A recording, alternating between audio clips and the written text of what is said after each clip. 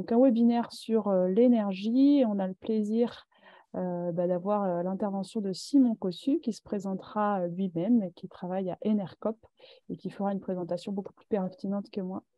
voilà, et donc n'hésitez pas, il va y avoir un temps de, présentation, mais en plus on n'est pas nombreux, donc il ne faut vraiment pas hésiter à, intervenir et à réagir sur ces questions qui vont être amenées. Ce que je vous propose, c'est qu'on se donne a priori jusqu'à 5h30. S'il y a besoin de déborder, on déborde, il n'y a pas de souci, mais a priori, à 5h30, normalement, on sera hyper tip-top au poil et au point pour gérer l'énergie dans nos maisons, on l'espère. Simon, je te laisse la parole. Ambiance. Ouais, merci pour l'introduction, Clémence. Euh, moi, s'il faut, je peux rester jusqu'à 20h hein, si vous voulez. bon, voilà, je vais, euh, je, vais, me présenter brièvement, puis je vais, euh, essayer de, vous raconter une belle histoire. Voilà. en tout cas, vous n'hésitez pas à m'interrompre au fur et à mesure. moi, je, pratique la règle du jeu de vous n'avez pas le droit de ne pas poser vos questions. Autrement dit, posez-moi vos questions dès que vous en avez. N'hésitez pas à m'interrompre parce que je sais que le format webinaire ou euh, visio, c'est pas toujours simple pour, euh, pour interrompre, mais euh, voilà, je le prendrai pas mal, donc il n'y a aucun souci. au moindre moment, il n'y a, y a aucun problème, interrompez-moi. Donc moi, je suis, je suis Simon Cossu, je suis fondateur et dirigeant de la coopérative Enercop Languedoc-Roussillon. De formation, je suis ingénieur, j'ai fait mes études à Alès, en Occitanie. donc j'ai un diplôme d'ingénieur et puis j'ai travaillé aussi pas mal dans les énergies renouvelables.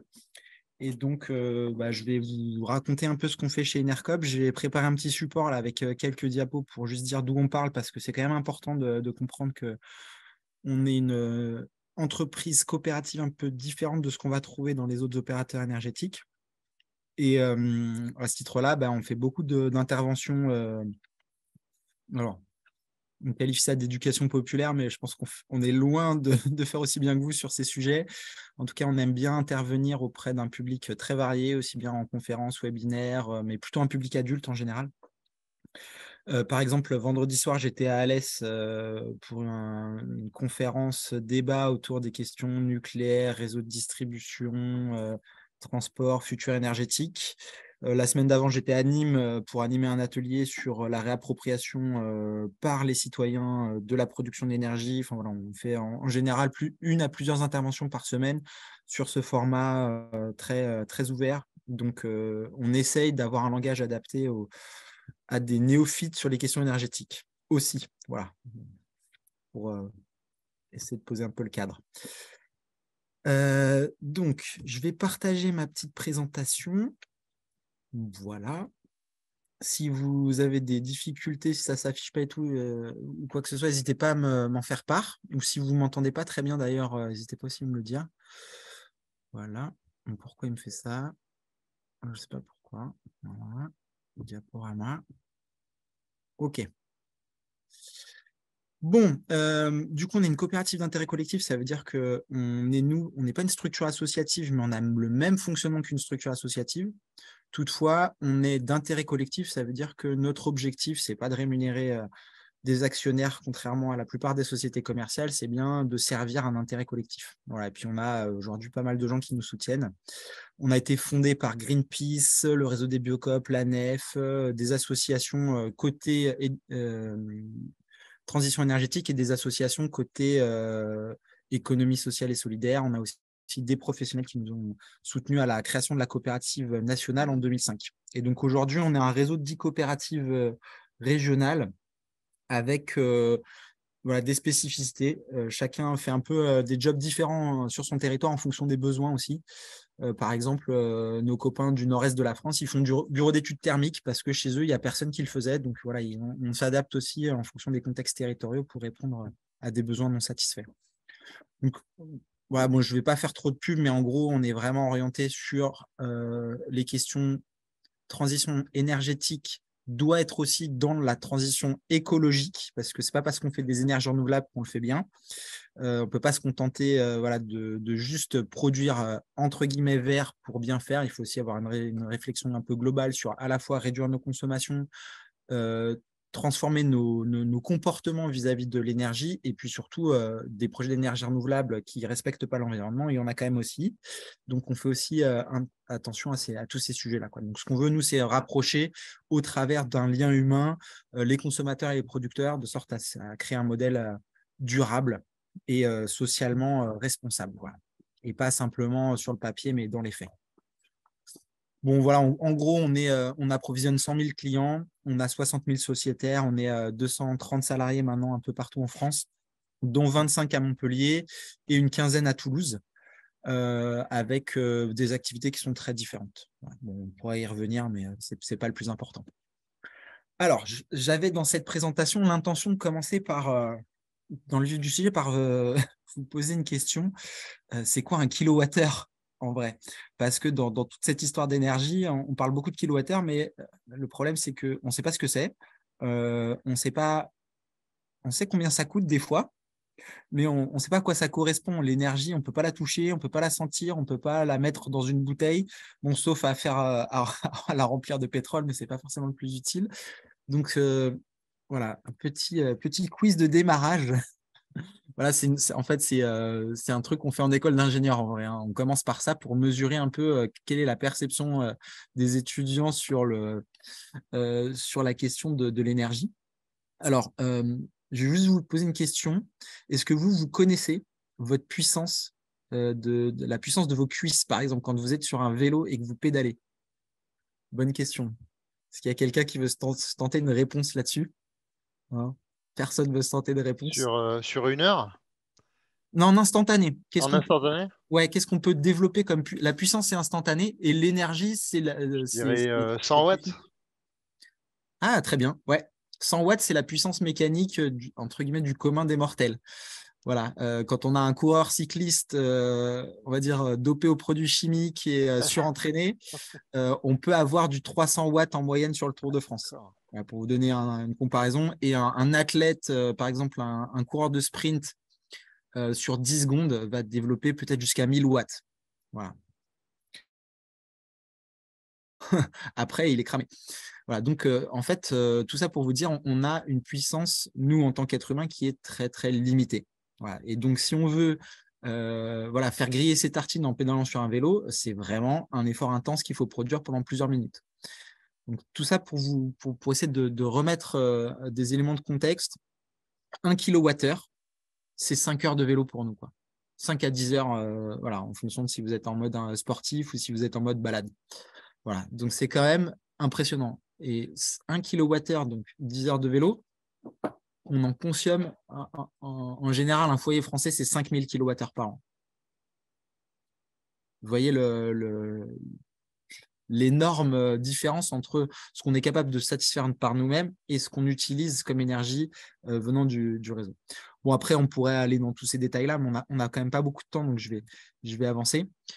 Euh, aussi, pour replacer le contexte, l'énergie, on parle de quoi en fait? Parce qu'on parle d'électricité, de gaz, mais ça, c'est l'énergie qui est en bout de chaîne. Et en fait, pour produire cette énergie qui va être utilisée dans notre compteur, en fait, on a besoin de plein d'étapes de transformation. Et c'est un sacré micmac parce que c'est là-dedans que se cache, euh, dans ces détails-là, que se cachent souvent des choses pas très sympathiques euh, en termes d'impact environnemental, en termes de coûts euh, d'infrastructure, en termes de, coûts masqués sur la dimension énergétique. Voilà, donc je ne vais pas rentrer dans trop de détails là non plus, mais il faut que vous sachiez que bah, plus la chaîne est courte, mieux c'est, et plus on va, mais ça je pense que vous en étiez déjà conscient, plus on va être dans une proximité entre la production et la consommation, meilleur sera notre euh, dispositif global. Et ça vaut aussi la peine de se dire que euh, bah, si on a besoin de chaleur, l'électricité, ce n'est pas forcément le, plus euh, opportun ou le plus pertinent parce que pour produire de l'électricité, l'électricité, ce n'est pas, forcément une source d'énergie en soi. On est obligé de produire cette électricité à partir d'autres ressources, qu'elles soient renouvelables, fossiles ou fissiles. Et donc, à chaque étape, à chaque transformation, on a des pertes. Et si on veut, par exemple, chauffer un local, bah, l'électricité, c'est rarement le plus efficace en termes de, consommation d'énergie globale, parce que c'est peut-être des kilowattheures qu'on consomme à notre compteur. En fait, on va les multiplier par trois si on les produit à partir de gaz ou de nucléaire à l'autre bout de la chaîne, à l'autre bout du réseau. Voilà. Donc tout ça, c'est pour euh, vous, dire c'est un vrai sujet complexe et ça, ça me prend en général euh, plusieurs heures pour expliquer tout ça aux, étudiants dans le détail. Donc ce n'est pas l'objet du, webinaire de cet après-midi, mais bah, c'est quand même bien de, se rappeler cette complexité et de savoir de quoi on parle. Alors ensuite aussi, pour tordre le cou une fois pour toutes à une idée reçue qui voudrait qu'il n'y ait pas assez d'énergie renouvelable sur cette planète et que le nucléaire c'est mal, bah non en fait, le nucléaire c'est bien. Ça peut paraître bizarre de, de, venant de la bouche de quelqu'un qui fait la promotion des énergies renouvelables au quotidien, mais en vrai, euh, le Soleil c'est un réacteur nucléaire qui a 150 millions de kilomètres. Voilà, euh, ça marche très bien et ça nous envoie chaque année 20 000 fois plus d'énergie que ce que l'humanité en consomme donc ça, c'est des ordres de grandeur aussi qui sont juste euh, difficiles à appréhender, mais 20 000 fois plus d'énergie que ce que l'humanité en consomme. Ouais, donc c'est le petit, cube en bas à droite, le petit cube gris, c'est euh, ce qu'on consomme, et le grand cube jaune, c'est ce qu'on reçoit du Soleil chaque année. Et puis, vous avez toutes les, ressources d'énergie fossile et fissile connues à ce jour. C'est les autres cubes euh, gaz, pétrole, charbon, uranium. Donc, en fait, c'est aussi pour dire que bah, quoi qu'il arrive, euh, tôt ou tard, on va avoir épuisé, ces ressources, donc on va devoir passer sur des énergies renouvelables, qu'il y en a vraiment beaucoup, et que la question, c'est comment on les transforme en électricité ou en chaleur disponible pour euh, satisfaire nos besoins de se chauffer, de se déplacer et de s'éclairer. Voilà, donc c'est quand même euh, des volumes d'énergie qui sont considérables et qui sont disponibles pour nous voilà, donc on, tout l'enjeu en fait de cette transition énergétique, c'est de trouver, c'est juste de, revenir sur des choses qui sont essentiellement du bon sens, de retrouver les bons canaux, les bonnes manières pour euh, satisfaire nos besoins de base. Et j'ai bien dit nos besoins de base parce qu'on a aussi là beaucoup, beaucoup, beaucoup de choses qui sont plus des besoins de base et que c'est des besoins qui sont artificiels, qui sont créés, je ne veux pas dire dans l'intention de nous faire consommer plus, mais quand même ça sent pas très bon à certains endroits. Voilà. Euh, je vais faire un petit détour du côté du système électrique, parce que c'est quand même euh, euh, aussi le sujet du moment avec l'augmentation des factures. Bon, l'augmentation des factures de gaz, je pense que c'est clair pour tout le monde que ça vient aussi de nos problèmes d'approvisionnement. Par contre, comment ça se fait que le système électrique est parti un peu en, frénésie ces derniers mois? Pourquoi les, montants de, des kilowattheures sont aussi importants que ça? Donc, c'est difficilement compréhensible comme ça. Pour autant, il y a des explications très simples. Et puis, on a aussi beaucoup insisté sur les derniers mois de 2022 sur la sobriété. Attention, si vous ne faites pas attention, vous allez être coupé. Ça sera de votre faute. Avec un discours qui était très lourd, très culpabilisateur. Euh, moi, j'ai trouvé ça vraiment euh, pas très classe de la part du gouvernement d'appuyer sur ces boutons-là. Euh, en faisant peur et en culpabilisant les gens. encore une fois, c'est pas de la faute des gens. la plupart des, entre guillemets du peuple que je, me mets dedans, hein, vous, et moi, en fait, on n'est pas forcément responsable de ce qui se passe. Et, là, c'est aussi lié à une mauvaise gestion, une mauvaise anticipation des choses. Et de, culpabiliser les gens dans ce contexte-là, c'était vraiment pas très cool. Donc, sur le système électrique, d'abord, replacer le qui fait quoi? Ça, c'est aussi c'est tout un cours sur les acteurs que vous avez en haut à droite. Là. Vous, aurez, vous aurez la présentation, bien évidemment, et puis vous pourrez aller explorer tout ça si ça vous chante. Le système électrique, en fait, depuis la libéralisation du marché à la fin des années 90, il a été découpé entre les activités de production qui sont ouvertes, c'est-à-dire tout le monde peut devenir producteur, et on a même des particuliers aujourd'hui qui sont producteurs avec les, installations photovoltaïques, mais on a tout un tas de professionnels, euh, PME, groupes industriels, collectivités qui se sont mis sur le sujet de la production. Tout ça est injecté dans le réseau, essentiellement de distribution pour les petites installations et de transport pour les très grandes centrales. Et le réseau, c'est comme une grande piscine, toute cette énergie est mélangée et ensuite elle est distribuée jusqu'au client final euh, qui va consommer cette énergie le distributeur, c'est l'équivalent du facteur, en fait. Euh, c'est pas celui qui vient euh, euh, payer, enfin, pardon, facturer. Celui qui facture, c'est le fournisseur. Donc, le fournisseur, aujourd'hui, il y en a des dizaines et des dizaines. D'ailleurs, on ne sait plus trop à quel sens vouer. quand on regarde les offres de fourniture d'électricité, c'est difficile de comparer. Ils ont des tarifs qui sont variables d'un jour à l'autre. Enfin, c'est vraiment très, très bizarre ce qui s'est passé ces derniers mois. Quand je dis très bizarre, c'est du point de vue du consommateur. Après, il y a quand même des vraies raisons à ça que je vais essayer de vous expliquer là. Ça va sur euh, ces, premières slides? Si, euh, si, vous avez des questions, n'hésitez pas du tout. Je fais un petit temps de respiration parce qu'il y a eu beaucoup d'informations là et je sais que c'est pas toujours facile. Donc, quand, là où je vous amène là sur cette partie-là, c'est comprendre pourquoi on nous a bassiné avec cette histoire de sobriété qui n'a rien à voir avec la sobriété telle que je vais vous la raconter dans quelques slides. voilà, c'était plutôt comment éviter des coupures d'électricité intenses sur le réseau global national.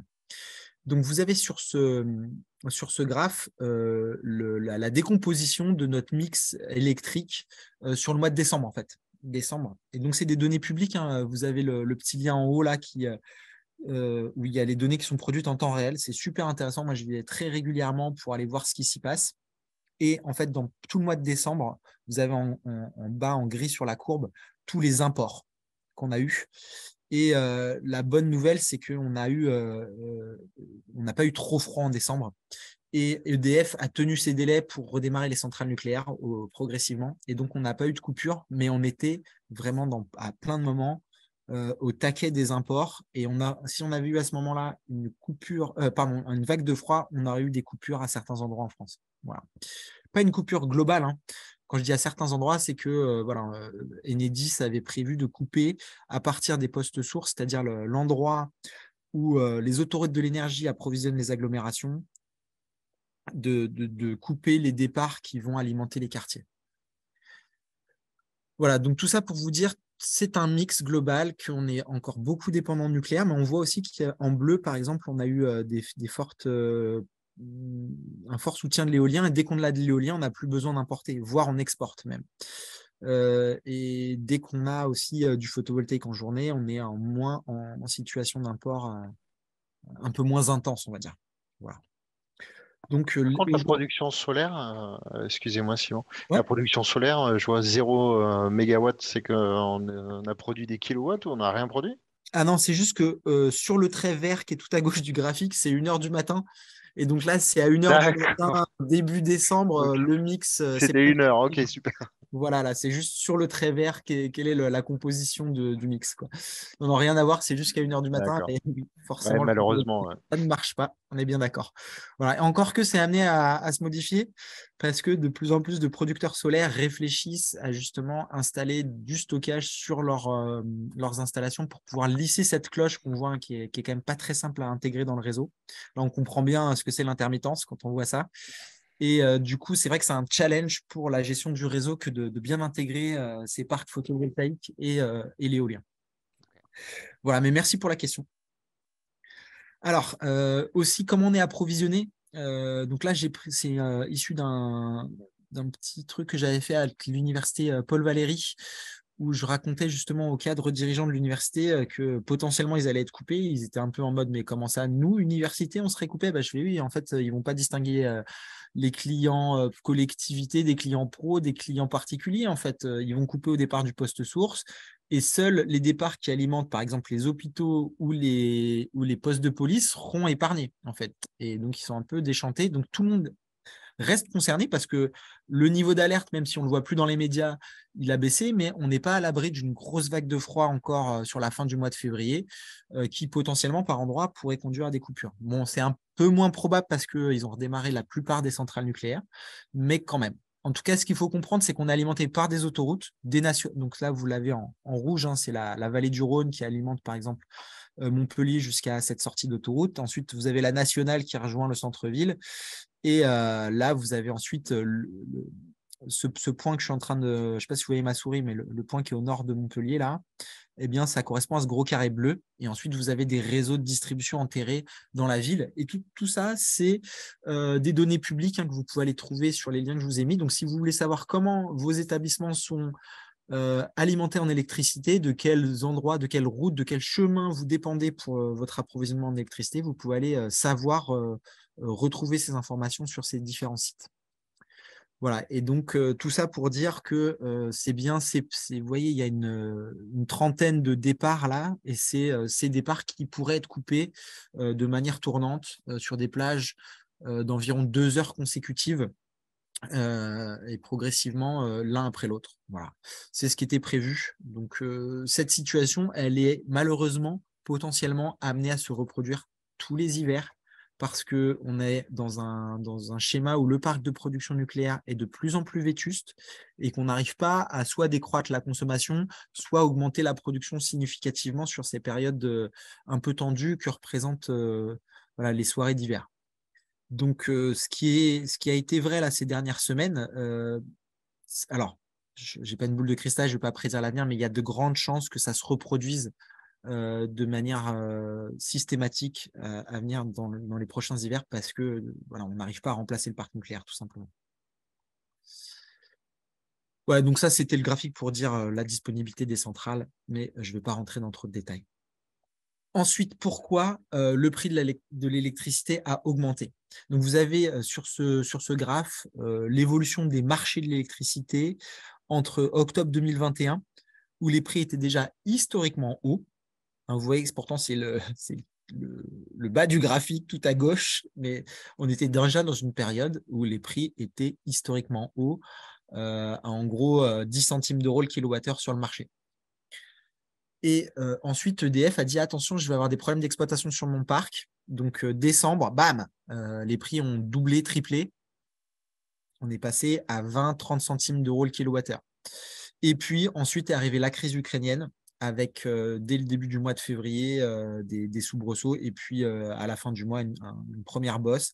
Et les prix n'ont en gros pas cessé de monter sur l'année 2022 parce qu'on a eu un peu des mauvaises nouvelles un peu de partout, des difficultés d'exploitation côté EDF, pas d'amélioration du conflit et des, tensions géopolitiques internationales, jusqu'à ce que à l'été 2022, les prix deviennent complètement hystériques et s'envolent.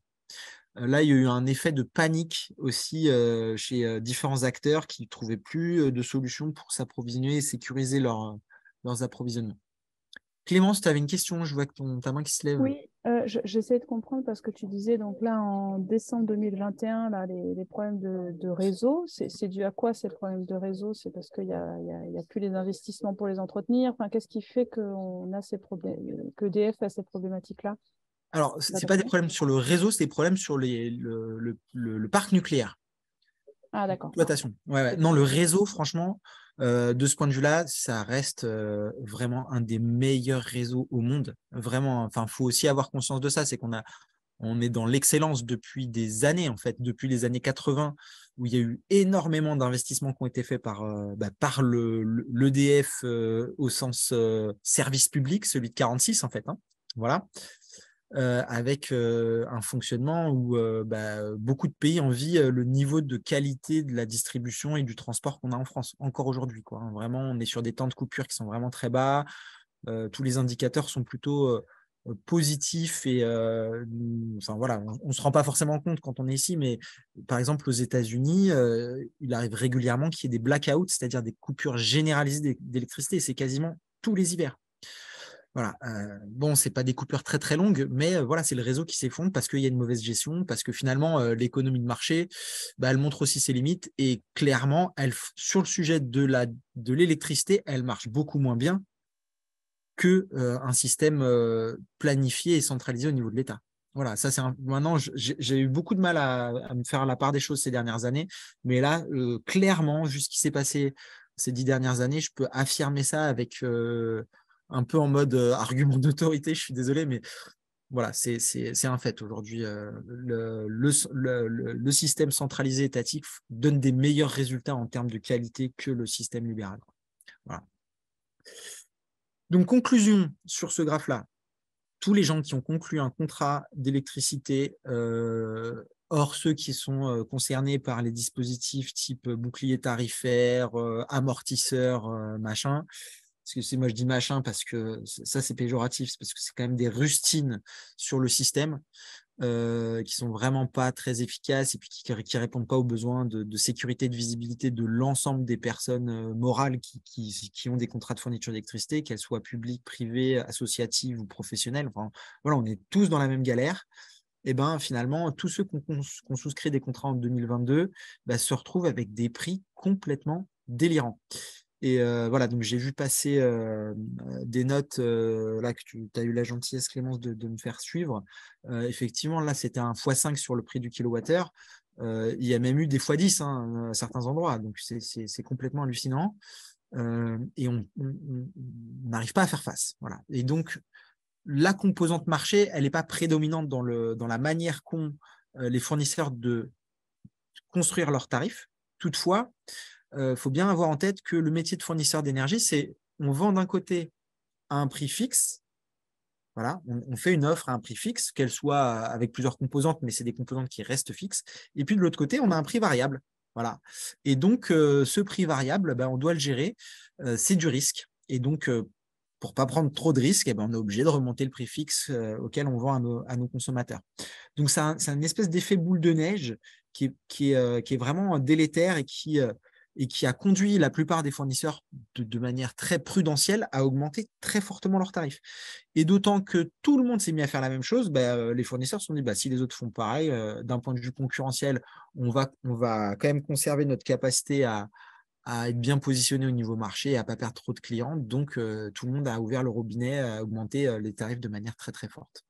Voilà, je vous fais un petit résumé parce que il y, a des subtilités, notamment avec l'accès euh, à l'électricité nucléaire historique, qui a permis aussi, dans une certaine mesure, de maintenir pour certains fournisseurs des tarifs euh, pas trop élevés. Mais quand même, dans l'ensemble, euh, on a soit les fournisseurs confirmés en disant on prend plus de nouveaux clients, voire on fait sortir nos clients. C'est ce qui est arrivé en octobre 2021. Les clients de Leclerc Énergie, par exemple, se sont tous fait mettre à la porte en mode ben, on, prend trop de risques, ça ne nous intéresse plus d'être fournisseur, donc allez voir ailleurs. Et toute l'énergie qu'ils avaient achetée en avance sur les marchés, ils l'ont revendue à prix d'or. Ils se sont fait plusieurs dizaines, si ce n'est pas centaines de millions d'euros de bénéfices là-dessus. Bref. Euh, excusez-moi, moi j'ai une question parce que je, justement j'ai du mal à comprendre le, ce modèle économique parce que si vous me dites, du coup ils ont augmenté leur prix par prévision. Euh, et, par, prudence, par prévision, et euh, finalement dans tous les pays européens. Euh, et du coup, euh, il n'y a personne qui peut limiter ce prix. C'est-à-dire si demain, par exemple, je sais pas, le boulanger, tous les boulangers décident de multiplier les prix par 100, y a, y y a, les gouvernements n'ont pas un pouvoir. parce que, en plus, moi, je discutais avec mon frère qui bosse à l'INDE dans le gaz. Hein, L'INDE, je ne sais pas s'ils fournissent ou ils produisent du gaz. Et il m'a dit que, en fait, eux, ils avaient moins, que c'était tellement cher, en fait, ils avaient tellement augmenté leur prix que du coup, eh ils écoulaient même pas leur production parce que les gens ne pouvaient plus l'acheter. Tout à fait. en fait, c'est comme si tout d'un coup, on mettait des prix complètement, euh, complètement hallucinants et on reste avec sa production parce que l'Inde, il me dit, il y a du gaz. Nous, on a du gaz, mais on n'a plus les gens qui peuvent les acheter puisqu'on a multiplié les prix par je ne sais pas combien. Et je me dis, mais les, les gouvernements font rien? Je comprends pas. ah ben, c'est pas qu'ils font rien, c'est qu'ils mettent de l'huile sur le feu, limite. C'est vraiment, euh, moi, je, je, comprends pas trop quelle a été la stratégie gouvernementale pendant cette crise. Euh, en fait, le problème dans ce type de situation, c'est ne rien faire, c'est déjà un choix et c'est déjà une action en fait. Voilà. Là, tout ce qu'ils ont fait, c'est créer des mesures type bouclier tarifaire pour les particuliers, ce qui est très bien en soi, mais en fait, euh, qui c'est qui paye? Bah, C'est quand même les contribuables. Ou pareil, sur l'amortisseur, bah, en vrai, ça amortit une partie, mais voilà. Donc en fait, le seul truc qui existe encore, c'est le tarif réglementé, mais c'est EDF qui, qui, qui, laisse des plumes en fait. Donc dans tous les cas, il y a un certain nombre d'acteurs qui sont perdants. Donc très clairement, les particuliers, les TPE et les PME sont les perdants dans l'histoire. Voilà. Les grands groupes, eux, euh, ils avaient déjà anticipé les choses, ils ont pu signer des contrats, et puis ils ont des forces de négociation où ils ont, ils ont pu aller s'approvisionner d'une manière ou d'une autre à des prix euh, qui ont été à la hausse, certes, mais qui étaient plutôt sur une hausse de x2 à x3 plutôt qu'une hausse de x5 à x10. Voilà. Donc très clairement, il n'y a personne aujourd'hui qui a, qui a le, les, clés du camion et qui dit euh, ça suffit, c'est comme ça. Et ça veut dire qu'ils vont s'enrichir. En fait, c'est ça. Ça veut dire qu'ils vont parce qu'ils vont s'enrichir logiquement ben Moi, j'attends la, parution des résultats des uns et des autres. Hein. On a eu la semaine dernière la, parution des résultats. Total. Euh, quand même, ils ont presque fait 20 milliards d'euros de profit. Bon, c'est pas sur pas sur l'électricité pour le coup. Eux, c'est sur le pétrole, mais on voit bien hein, comme on s'est fait rouler dans la farine aussi avec les augmentations de pétrole l'année dernière. C'est-à-dire que les coûts sont montés, ils ont augmenté les prix à la pompe, et puis les prix à la pompe sont jamais redescendus. Et là, s'il se passe la même chose sur l'électricité, en fait. C'est-à-dire que depuis des années, en fait, euh, le prix était politiquement maintenu euh, au niveau des tarifs réglementés de vente dans un niveau qui était même parfois inférieur à l'inflation. Donc mécaniquement, ça faisait baisser les prix. euh, enfin pas mécaniquement, mais proportionnellement. Et donc là, il en fait, je pense qu'il y avait une intention aussi euh, de la part de, du, grand secteur financier de, de, pouvoir mettre le coup de pied dans la fourmilière, casser un peu ça et faire que les prix retrouvent des niveaux de croissance attendus, alors que les coûts, eux, n'ont pas changé. Voilà, donc effectivement, entre les deux, bah, les marges ont explosé. Et puis moi, j'attends de voir qui a fait des profits dans l'histoire. Mais c'est clair que là, c'est un, point de vue. Je vais dire mon point de vue. Moi, je trouve que c'est une opération de raquette en bande organisée. Hein. Ben, voilà, c'est mon point de vue. Après, je ne sais pas si c'est la, vérité, mais voilà, en tous les cas, c'est mon sentiment. alors, ça peut être interprété comme ça, ou c'est, moi, si je peux me permettre, c'est une vision de bah, la régulation par, par le libéral, quoi, par l'ultralibéral. Et donc, effectivement, il n'y a, pas de, a pas de réglementation, comme tu dis, Julie. Il y, a des mécanismes qui se mettent en place qui, qui sont celles de l'économie libérale. Voilà, et la régulation, c'est la maximisation du profit. Donc, c'est pas surprenant que ça donne ces résultats-là finalement. Quoi. Voilà, parce que leur objectif, c'est comme ça. Parce que, en fait, euh, ce truc de l'ultralibéral, si nous, demain, euh, on a nos clubs d'activité, on multiplie les tarifs par 10, euh, et ben, forcément, ben, les gens, ils viendront plus. Alors que là, en fait, ils savent que tout le monde a besoin d'énergie. Et moi, je pensais qu'il y avait, euh, alors je ne sais pas si c'était au niveau national, mais au niveau international, moi je pensais qu'il y avait, je ne sais pas, un organisme, vu que à la base c'était national et ça a été confié euh, aux entreprises privées. À la base c'était national l'énergie, non? Pour justement éviter euh, que ça rentre dans, dans, dans ce, cette, ce logique de libéralisation. Et moi je pensais que l'État, enfin naïvement sans doute, que l'État avait quand même encore un pouvoir sur euh, bah, poser des tarifs et éviter d'avoir des profits. Parce que moi, je, veux dire, euh, je, veux bien contribuer à un effort, mais si c'est un effort pour, euh, pour, pour un super profit de quelqu'un, ça n'a pas de sens. Et je pensais qu'il y avait ou une organisation internationale qui pouvait quand même réguler ça. Non, en fait, le seul dispositif qui reste aujourd'hui, c'est le dispositif des tarifs régulés de vente, tarifs réglementés de vente, qui s'applique uniquement aux particuliers et aux TPE. C'est tout. Tous les autres sont soumis à euh, des tarifs dits de marché, c'est-à-dire des opérateurs qui font des offres en fonction des conditions euh, d'achat et vente. Voilà, c'est tout. Donc là-dessus, il n'y a, plus de, a plus de possibilités. Par contre, euh, là où il y a un, petit levier, c'est que ils ont cru qu'on était dépendant de l'énergie.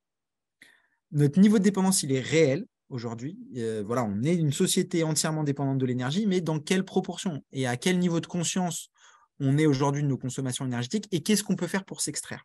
Voilà, et ça, c'est très bien pour faire la transition parce que c'est la suite de ma présentation. Parce que là, on a, quand même beaucoup parlé euh, de, cette crise euh, quasi géopolitique, hein, mais. Euh, et sur l'accès à l'énergie régulée, enfin au tarif régulé, donc c'est TPE et particuliers, donc associations, sont pas prises en compte, c'est ça? Ah bah si, associations sont dans la catégorie TPE. Elles sont dans la catégorie TPE. Non, ça dépend, ça nous, on ne rentre pas dans la catégorie TPE parce qu'on a plus de 36 kWh et on a plus de 10 salariés. Euh, donc, ah nous, on est assimilé PME et, et, voilà, comme on a une puissance souscrite de plus de 36 kWh, nous, clairement, à la glissée de Groyer, on paye notre énergie et ça a été multiplié par 450% euh, au 1er janvier 2023. Euh, c'est ça. Voilà, donc les dispositifs, effectivement, s'appliquent uniquement aux entreprises de moins de 10 salariés, de moins de X millions de chiffre d'affaires, je ne sais plus. Et puis, effectivement, pour tout ce qu'on appelait avant les tarifs bleus, c'est-à-dire en dessous de 30, inférieur ou égal à 36 kilos. Oui, mais donc ça veut dire qu'effectivement, une bonne partie d'une association, enfin une association à plus de 10 salariés, ça, il y en a beaucoup quoi dans notre ah, milieu. ça très vite. Et donc, euh, effectivement, elles, elles ne peuvent pas euh, y avoir accès. En fait, nous, le, le, ce qui, enfin, pour revenir sur la, problématique dans les MJC, mais peut-être qu'on le verra après, c'est que moi, pour avoir fait le tour des collègues, nous, on a la particularité qu'on paye directement notre énergie. Donc, on a bien vu toute la différence et du coup, on a accès à tout ce qu'on consomme, pourquoi, combien? Mais il y a énormément d'MJC qui sont au-dessus des. Quelques-unes, quand même pas mal, qui sont au-dessus des 36 kWh. C'est la mairie qui paye l'énergie. Mais eux aussi, ils ne rentrent pas dans le bouclier tarifaire. Non. Non, euh, Les collectivités sont, sont considérées comme des contrats pro, euh, comme les autres, en fait. Euh, voilà, c'est ça. C'est un contrat pro. Donc, je pense que indirectement, on est concerné. Et là, euh, je fais un petit un clin d'œil à Clémence parce que je pense qu'il n'y a pas beaucoup de monde qui sont là aussi aujourd'hui, peut-être qu'ils ne pouvaient pas. Et je me dis aussi, euh, on, a une réflexion à avoir, c'est-à-dire, en fait, quand ce n'est pas nous qui payons la facture, on ne se sent pas concerné. Et, euh, et, je pense que c'est une erreur parce que, parce que ça va nous retomber dessus. Moi, ce que je disais avec les collègues, vu que c'est euh, quand c'est euh, la mairie qui paye, et eh ben, et eh ben on, on, est concerné par l'écologie en général, mais on n'est pas là directement pour, pour faire gaffe. Voilà. et puis, tout à fait. Rien n'empêche. Et puis en plus, il y a les. Euh, maintenant, c'est à vous de payer aussi. C'est ça, c'est que les mairies qui vont vouloir nous transmettre les fluides, qui vont dire on ne baisse pas vos subventions, mais par contre, les fluides, euh, c'est pour vous maintenant, c'est plus la charge de la mairie. Ou même aujourd'hui, euh, les certaines structures qui sont dans des bâtiments euh, municipaux où euh, d'elles-mêmes les mairies ont dit bah là il y aura toujours pas de chauffage ou euh, on baisse le niveau d'électricité enfin le niveau du chauffage etc et ce qui fait qu'on se retrouve avec des structures qui ne sont plus du tout en capacité d'accueillir en fait le public dans des bonnes conditions. Donc même quand c'est pas nous qui sommes en direct c'est aussi problématique aujourd'hui. C'est ça moi, je vous propose d'avancer un peu sur ces sujets euh, sobriété, efficacité, tout ça. Euh, hop, bon, ça c'est sur les délestages, mais je ne vais pas revenir dessus. Juste euh, pour info, mais je pense que vous l'avez tous vu, monecoad.fr pour avoir les, données, les infos concernant la, les éventuels délestages et coupures. Voilà. Donc ça, ce, petit graphique aussi pour vous dire comment, comment ça se joue chez nous, chez Nercop. Nous, en bleu, vous avez la courbe de nos producteurs sur l'année 2019 et en rouge, la courbe de nos clients. Voilà, les producteurs, ce qui versent sur le réseau et les clients, ce qui soutirent. Et donc, vous voyez qu'il bah, y a des saisons où on est en excédent, des saisons où on est en, en, déficit. Et donc, c'est aussi pour ça que euh, tous les opérateurs, même s'ils ont des contrats avec des producteurs, ils ont besoin d'équilibrer entre la production et la consommation euh, et donc les, écarts entre la courbe bleue et la courbe rouge, voilà, soit on reverse sur les marchés ce qu'on a en trop, par exemple ça c'est la courbe bleue en été, euh, soit c'est euh, en hiver, par exemple, on était déficitaire début de l'année, on a dû acheter de l'énergie de manière assez conséquente. Voilà, donc on est quand même, nous encore, même si on a des contrats directs avec nos producteurs, on est quand même en lien avec le marché parce qu'on a besoin de faire cet équilibrage-là notre promesse, c'est d'être 100% renouvelable, mais en volume global annuel. On n'arrive pas à le faire en temps réel aujourd'hui. C'est trop compliqué. Voilà, donc c'était euh, juste pour dire euh, en quoi on a un lien avec le marché. Bon, alors, du coup, maintenant, on va parler un peu de, des, sujets euh, sobriété, parce que j'aimerais bien aussi revenir sur le, la vraie signification de sobriété. Voilà. Donc, j'aime bien ce petit, ce, petit bonus. Euh, souvent, c'est la mamie fait sécher son linge, quoi. mamie fait sa lessive. C'est vraiment ça la notion de sobriété. En fait, quand on repense à nos grands-mères, elles faisaient la lessive bah, quand il y avait du vent, quand il y avait du soleil, pour que le linge puisse sécher. Parce que le sèche-linge n'existait pas à l'époque. Déjà, le lave-linge, c'était limite. Mais euh, voilà, donc l'idée, c'est euh, bah, aussi de reprendre les bonnes habitudes sur. sur on peut consommer l'énergie quand il y en a, mais aussi de quoi j'ai besoin comme énergie en vrai et, qu'est-ce que je vais utiliser euh, pour dépendre le moins possible euh, de technologie ou de, choses qui me sont facturées, parce que l'enjeu, il est quand même là aujourd'hui pour, vous, MJC, c'est comment je m'affranchis de ça. Donc, je prends ma casquette. Alors, oui, je ne me suis pas présenté entièrement. Je suis aussi euh, ambassadeur d'une association qui s'appelle Negawatt, qui fait la promotion d'un scénario, enfin, la, construction et la promotion d'un scénario de transition énergétique et qui est basé en, gros en trois axes sobriété, efficacité et renouvelable. Donc, il y en a les deux premiers qui concernent comment on réduit ses besoins. Donc, d'abord, euh, la sobriété, c'est comment individuellement et collectivement on peut limiter le gaspillage, euh, remettre euh, les, besoins prioritaires satisfaits et les besoins non prioritaires, les, éviter ou les supprimer s'ils sont vraiment parfois inutiles. L'efficacité, c'est plutôt comment, au travers d'actions euh, d'amélioration de, performances techniques, par exemple, le, le, meilleur exemple d'efficacité, c'est l'ampoule. Avant, on avait tous des ampoules à filament, 95% euh, de pertes. Maintenant, euh, on a tous des LED où on a 95% d'efficacité et 5% de pertes. Voilà, donc ça, c'est vraiment des questions d'efficacité, c'est plutôt technologique et lié au matériel et ou au bâtiment. Et puis, les renouvelables, ça nous permettrait d'avoir de l'énergie, euh, on va dire, pour tout ce qu'on n'aura pas pu économiser. Hein, la meilleure énergie étant celle qu'on ne, consomme pas. Voilà. Et la, sobriété, voilà, euh, si, on, revient au sens des mots, la sobriété, c'est le contraire d'ébriété. Je pense que tout le monde connaît l'ébriété. Voilà, enfin, j'imagine. On, on voit tous ce que c'est en état d'ébriété. Euh, bah, euh, il y en a, c'est très joyeux, festif. Il y en a, c'est un peu bougon et qui ont l'alcool mauvais, entre guillemets. en tout cas, on est collectivement et, et parfois individuellement aussi dans ces situations d'ébriété énergétique. C'est-à-dire que euh, ça, transforme nos, états d'être au quotidien, nos, états de conscience. On n'est plus exactement euh, ce qu'on était il y a quelques centaines d'années quand on n'était pas sous cette dépense énergétique.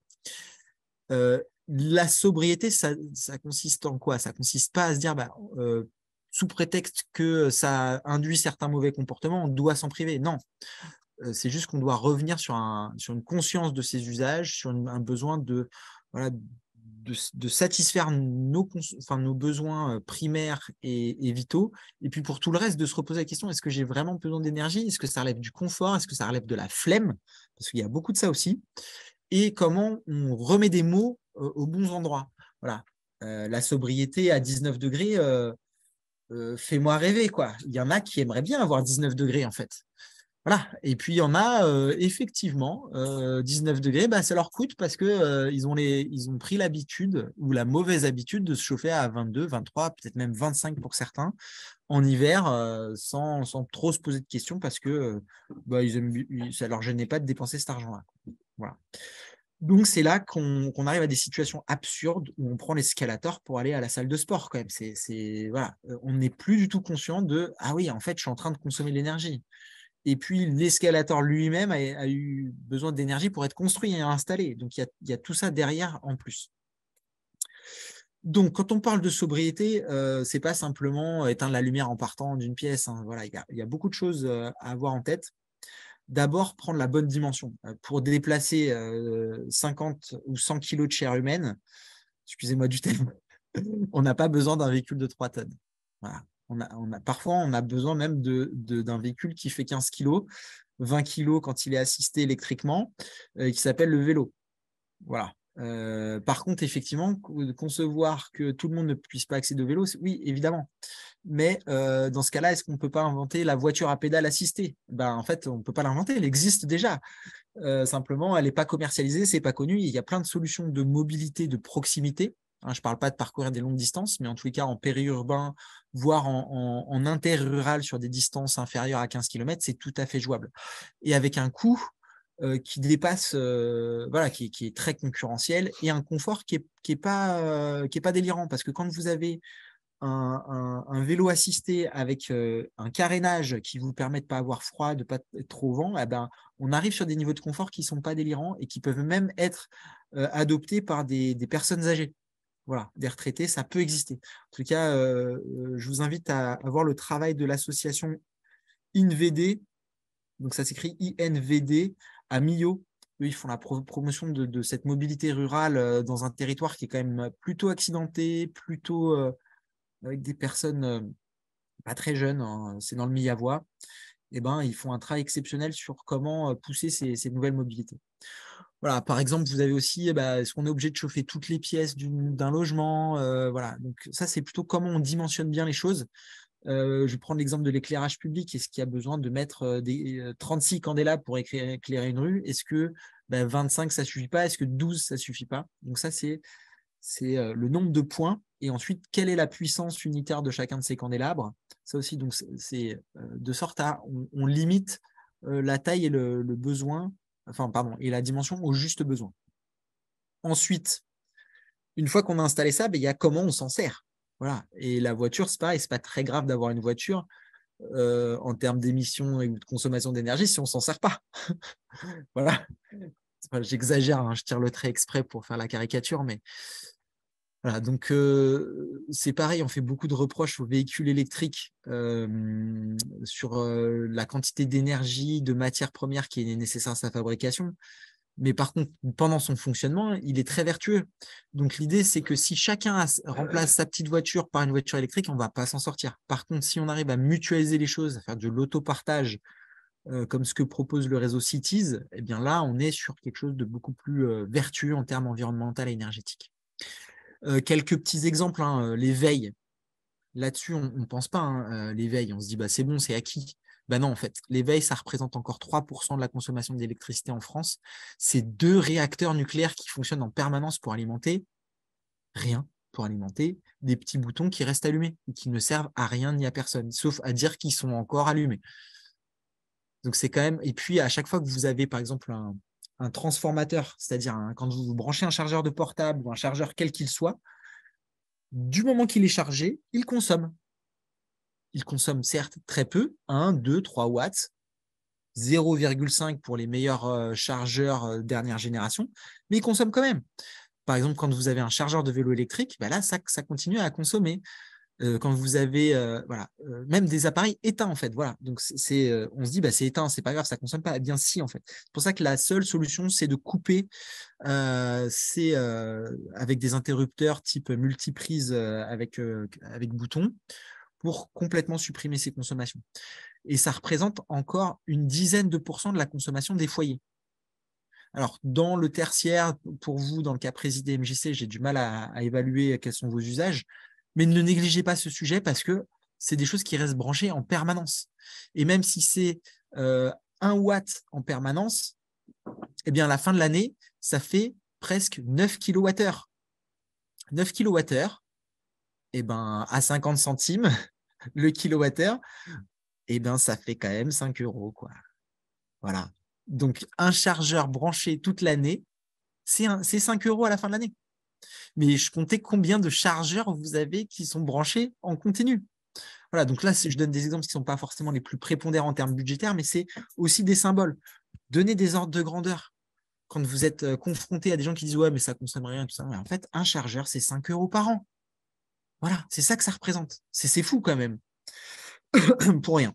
Voilà. Et puis, autre, euh, autre petit euh, truc intéressant à avoir en tête, c'est la, vitesse des voitures. Sur l'autoroute, vous passez de 130 à 110, c'est 25% d'économie. Voilà. Alors, euh, moi, je ne suis pas forcément pour que la, limitation soit imposée de manière coercitive aux Français je pense que c'est encore une fois bien faire ressentir aux Français le bâton.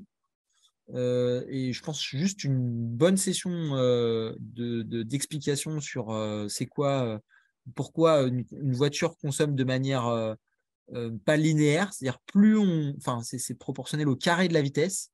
Voilà, donc ça c'est lié aux forces de frottement des véhicules, tout ça, tout ça. Donc je pense qu'il y a besoin aussi de mieux comprendre la physique ça ferait du bien à tout le monde pour comprendre aussi que notre consommation d'énergie, elle n'est pas linéaire en fait. Ce n'est pas parce qu'on roule euh, à 120 au lieu de 60 qu'on multiplie par 2 la consommation. Ben non, en fait, on multiplie par 4 la consommation en vrai.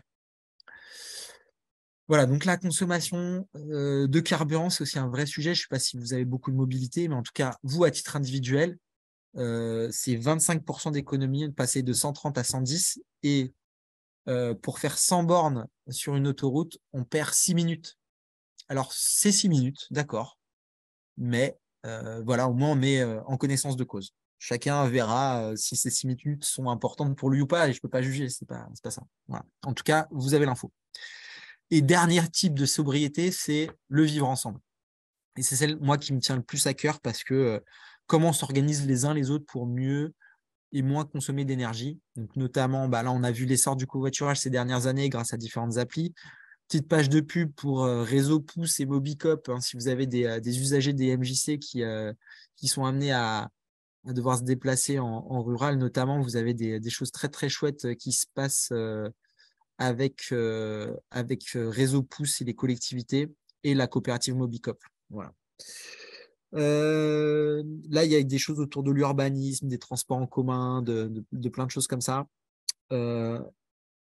je ne vois pas en quoi ça, euh, concerne directement les MJC, si ce n'est peut-être à se saisir collectivement du sujet et à organiser euh, des temps de parole autour de ça pour faire circuler de l'information, parce que plus on en parle, plus on informe, plus les gens prennent des bonnes habitudes et se, défont de cette dépendance et de cette ébriété, il ne faut pas dire aux gens, il faut que vous soyez sobre.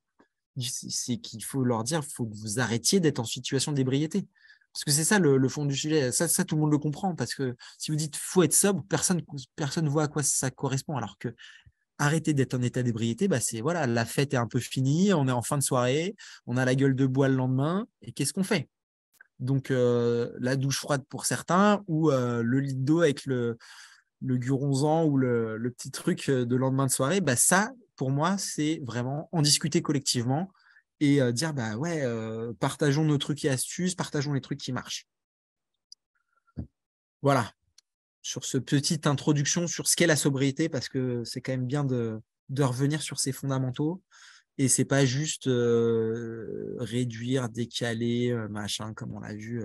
voilà, il y a plein, plein de choses qui sont cachées derrière. Ça va jusque-là? Top. Bon, cette photo-là, bon, la, précédente, elle était prise, vous l'avez deviné, aux États-Unis. Celle-là, elle est prise à Marseille. voilà. Euh, et je pense que c'est une situation qui va se reproduire de plus en plus dans toutes les villes du sud de la France où, euh, bah, malheureusement, on a un traitement thermique des bâtiments qui fait que bah, ça devient invivable. Euh, de même que avant, c'était invivable d'avoir des bâtiments sans chauffage en hiver. Ben là, ça devient invivable d'avoir des bâtiments sans climatisation en été. Voilà. Donc, il y a aussi ce sujet de la, du confort thermique d'été et d'hiver. et évidemment, euh, ça nous concerne un petit peu moins sur, le sujet de la journée parce que le, problème, c'est que le tarif n'est pas le même en été et en hiver. Le, tarif en hiver est beaucoup plus élevé qu'en été et en général, les consommations d'énergie sont aussi beaucoup plus importantes en hiver parce qu'il faut ramener depuis moins 5 euh, au pire des cas ou 0 ou 5 degrés jusqu'à 20 alors que dans la climatisation, bah, on descend de 35 à 25. Donc euh, d'un côté, on a 20 degrés d'écart et de l'autre côté, on n'en a que 10. Donc même si euh, la climatisation se répand, les besoins énergétiques seront quand même pas les mêmes. Voilà. Et le problème de ça. Mais ça, pose quand même la question, enfin, tu vois, en termes d'équipement, euh, nous, il y, a des structures de plus en plus d'invités qui accueillent des jeunes, qui accueillent euh, des gamins et qui n'ont pas du tout les bâtiments adaptés pour et qui n'ont pas forcément de quoi investir sur ces outils de climatisation. Et que même en termes de santé, quoi. Il y a des il y a des décisions qui doivent être prises. Enfin, voilà, il y, a, eu des structures qui ont dû fermer le centre de loisirs. C'était trop dangereux. Quoi. Nous, nous, euh, nous, clairement, Clément, cet été, euh, les jeunes, on a dit euh, que des séjours et que des sorties, parce qu'on ne pourra pas vivre dans le bâtiment. Mm. Et, et, on le sait. Donc, en fait, on essaye d'anticiper par rapport à l'été dernier. Et, et, on a dit, ben, on va partir dans les campings là où il y a de la forêt, puisqu'on ne peut plus. Mm. Pareil, pareil euh, c'est un bâtiment municipal, donc c'est nous qui choisissons son investissement. C'est pas demain la veille qu'on va avoir. On n'a pas forcément mais, euh, mais oui, c'est un impact euh, pour nous assez récent là. Depuis deux étés, deux étés, on perd le public en fait. Et, et on peut plus. La salle de danse là-haut, en fait, qui est complètement vitrée. Euh, les stages qu'on avait mis, euh, stages de danse en plein été, euh, moi je me souviens un jour où, il y avait un, une députée qui était venue, il fait, voilà, stage de danse hip-hop intense, il faisait 38 dans la salle. Ouais, c'est plus, c'est plus viable quoi. Mmh. Déjà 28, c'est déjà, enfin, faut le tenir quoi, c'est pas très confort mais ça passe. Mais quand on passe de 20, euh, quand on passe la barre des 30 degrés, qu'on fait de l'activité physique, ça devient vraiment dangereux, quoi, c'est clair. Voilà. Et ce qu'il faut avoir en tête aussi, c'est que toutes les actions euh, qui amélioreront le confort d'hiver seront aussi en général positives pour le confort d'été. C'est que si on se met à isoler, on isole contre le chaud aussi. Moi, ce qui m'intéresse aussi, ce serait de savoir, euh, justement, on n'a pas vraiment la main sur le bâti ou sur les, les, améliorations de, de, long terme, sur les grosses améliorations. Et, euh, mais on peut avoir la main sur euh, des petites choses à faire au quotidien, euh, aussi bien sur le confort d'été que sur le confort d'hiver. Et, et, voilà. Et alors que le, long terme, c'est plutôt autre chose, c'est une négociation avec la mairie, avec notre CA, c'est autre chose. Mais là, les équipes, elles ne savent pas tellement, elles cherchent des solutions pour, pour le court terme. Et, on, et voilà. Alors, je ne vais, pas te, mentir, hein, il n'y a pas de solution miracle court terme, euh, si ce n'est à appliquer euh, des petits gestes euh, et des petites actions qui peuvent, être, qui peuvent paraître un peu anodines. Mais je vais te donner quelques exemples, notamment pour l'hiver. Ce qui est vraiment très intéressant là, c'est faire la chasse au courant d'air. La chasse au courant d'air, qu'est-ce que ça veut dire? Ça veut dire qu'en fait, dans nos bâtiments, si on chauffe, c'est parce que la chaleur s'en va en vrai, euh, l'isolation, ça consiste à maintenir la chaleur à l'intérieur des bâtiments. Et une des principales sources de déperdition de chaleur, c'est les petites fuites d'air qu'on va avoir euh, entre deux fenêtres qui ferment mal, sous une porte qui est euh, voilà. Donc là, le plan, c'est très simple. On achète de, des espèces de mousse qui, peut se compresser quand on ferme une porte. On met ça tout autour du cadre de la porte, autour du cadre des fenêtres. Voilà donc ça, on peut le faire un peu entre guillemets à l'arrache, euh, en, passant sa main, en sentant des, courants d'air froid, des, choses comme ça.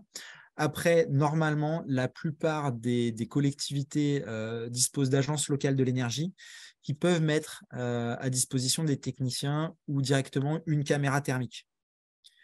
Ça, c'est l'idéal. Une caméra thermique. Et c'est un, des points que je voulais vous présenter un peu plus tard, mais je vais, je vais changer l'ordre de la présentation. C'est très bien, puisqu'il est déjà en plus 5 heures. Donc, hop, je vais venir directement là-dessus.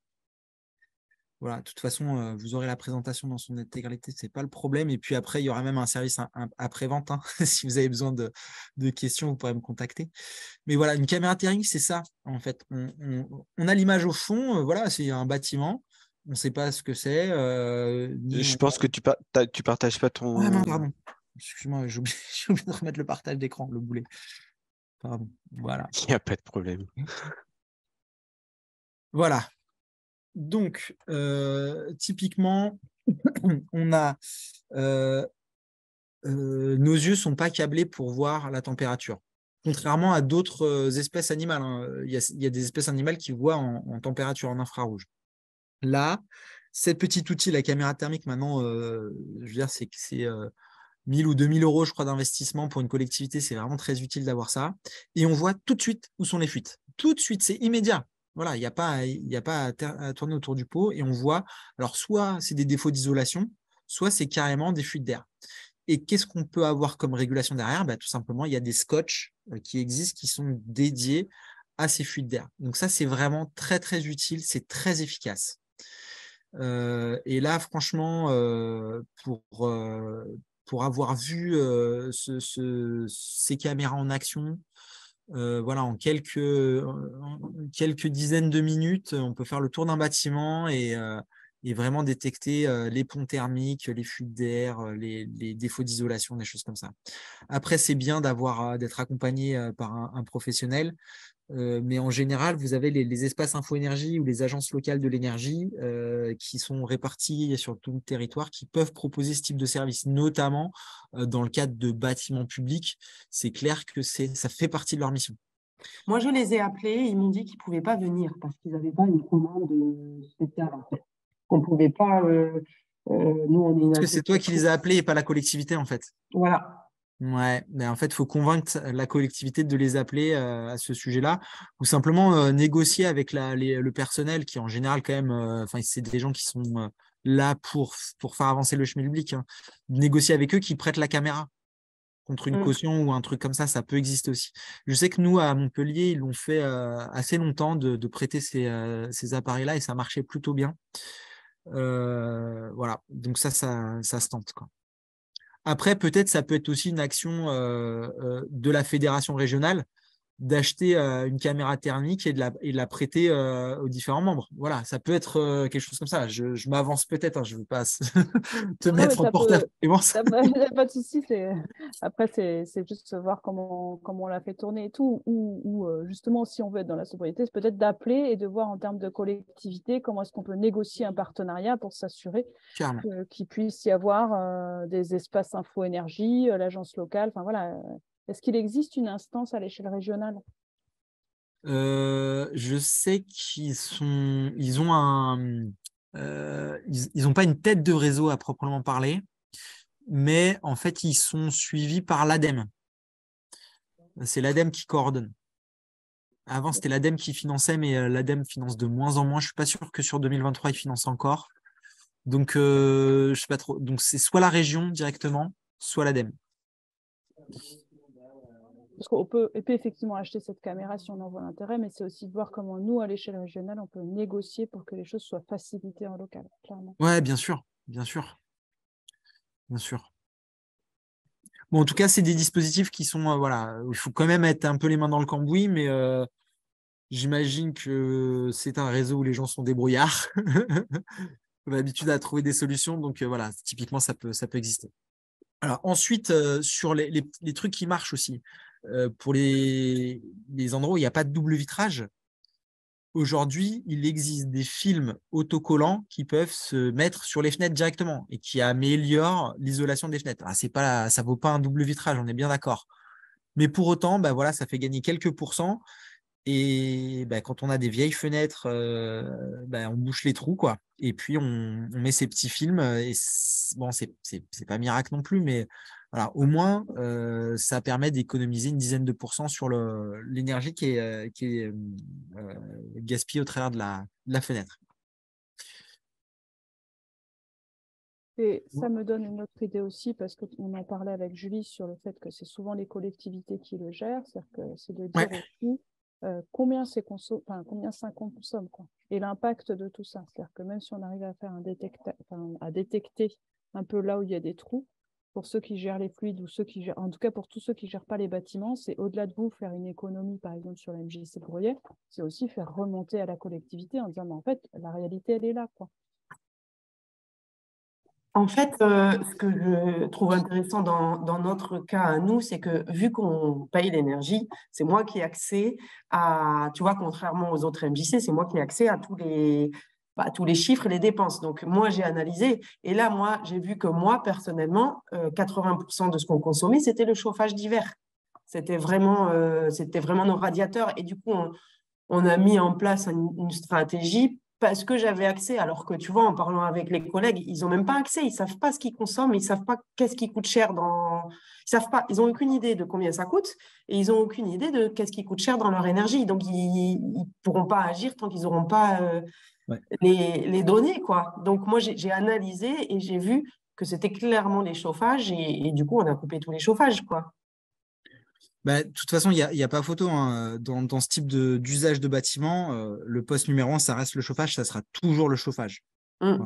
Sauf euh, des bâtiments éco-conçus ou, euh, qui ont fait l'objet d'une rénovation énergétique, mais ils sont tellement rares et tellement médiatisés que, en général, les gens qui habitent dedans, ils le savent. Voilà, donc voilà, ça ne nous concerne pas forcément ici. C'est vrai qu'on est dans un patrimoine qui est très vieillissant, euh, qui n'a pas été aussi construit euh, selon les mêmes besoins. C'est-à-dire que, euh, et, là-dessus, je vais être un peu choquant, mais en vrai, les bâtiments, ils n'ont pas besoin d'être chauffés. Mmh. C'est les gens qui ont besoin de ne pas avoir froid. Voilà.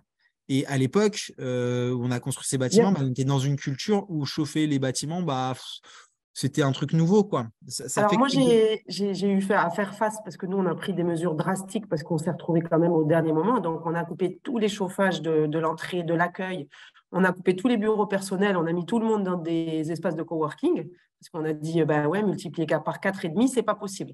Et j'ai eu beaucoup de retours. Alors, est-ce que c'est une croyance ou pas? C'est ça qui est intéressant en disant, ça va foutre en l'air le, le bâtiment.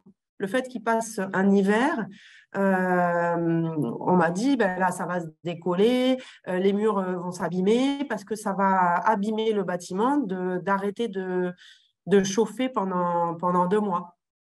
Donc, je ne sais pas. Alors, il y a quelques cas de figure où ça peut se produire, notamment quand on a des problèmes d'humidité.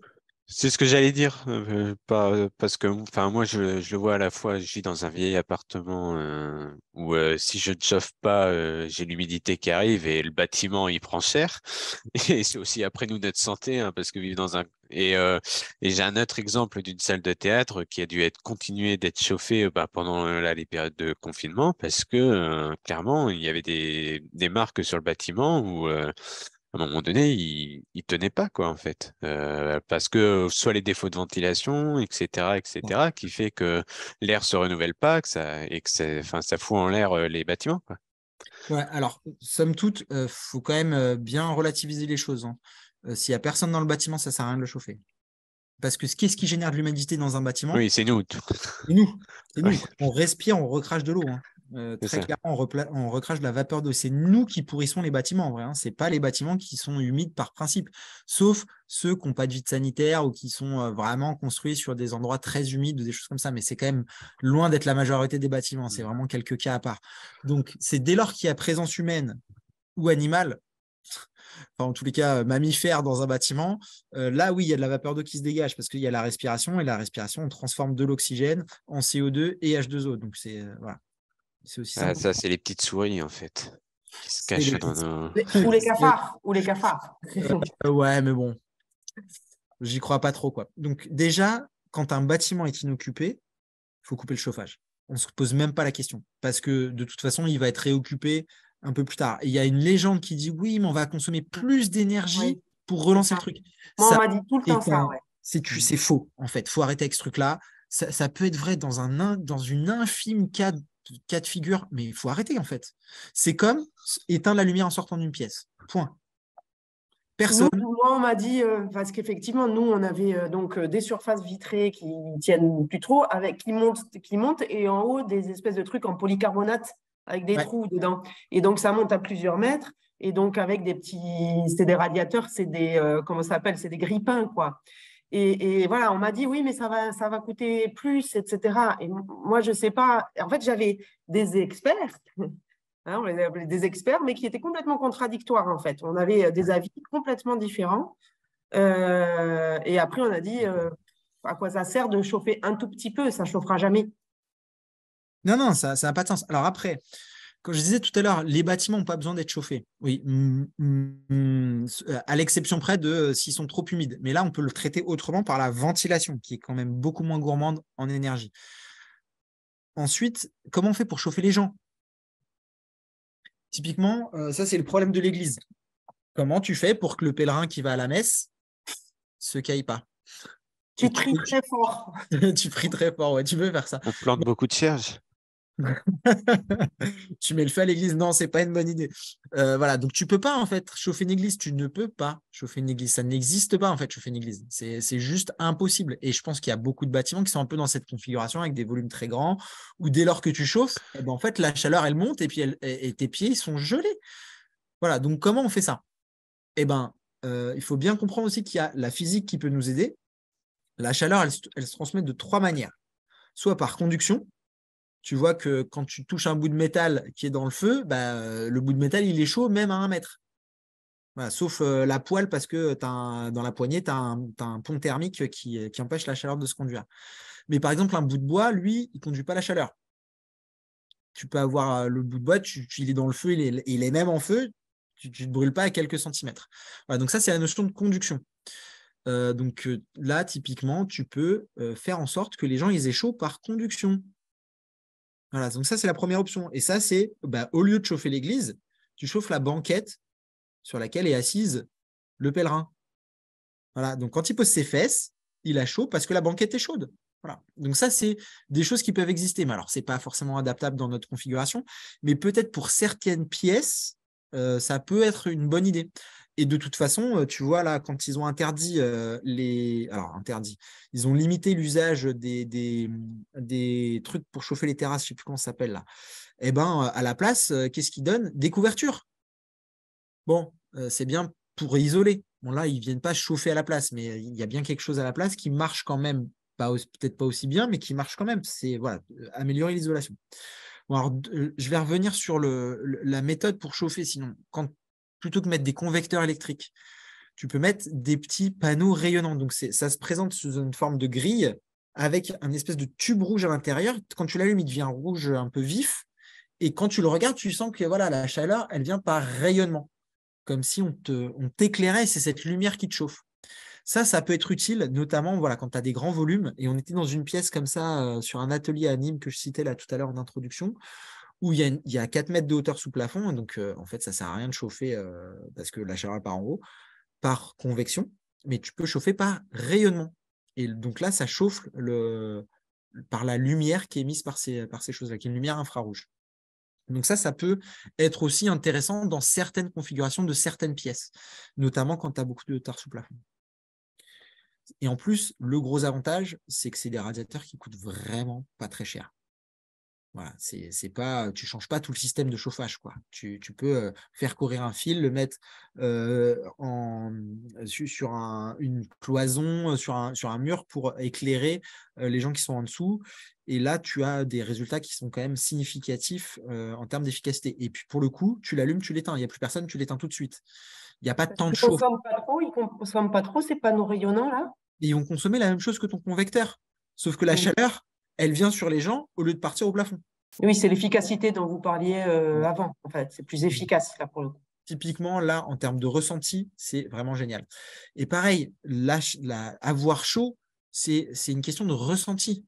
Comment on fait pour avoir chaud? Ben, euh, Il faut éviter d'avoir des pertes soi-même. Donc, comment on, comment on se refroidit, nous, êtres humains ben, On se refroidit beaucoup par les pieds. Les gens sont.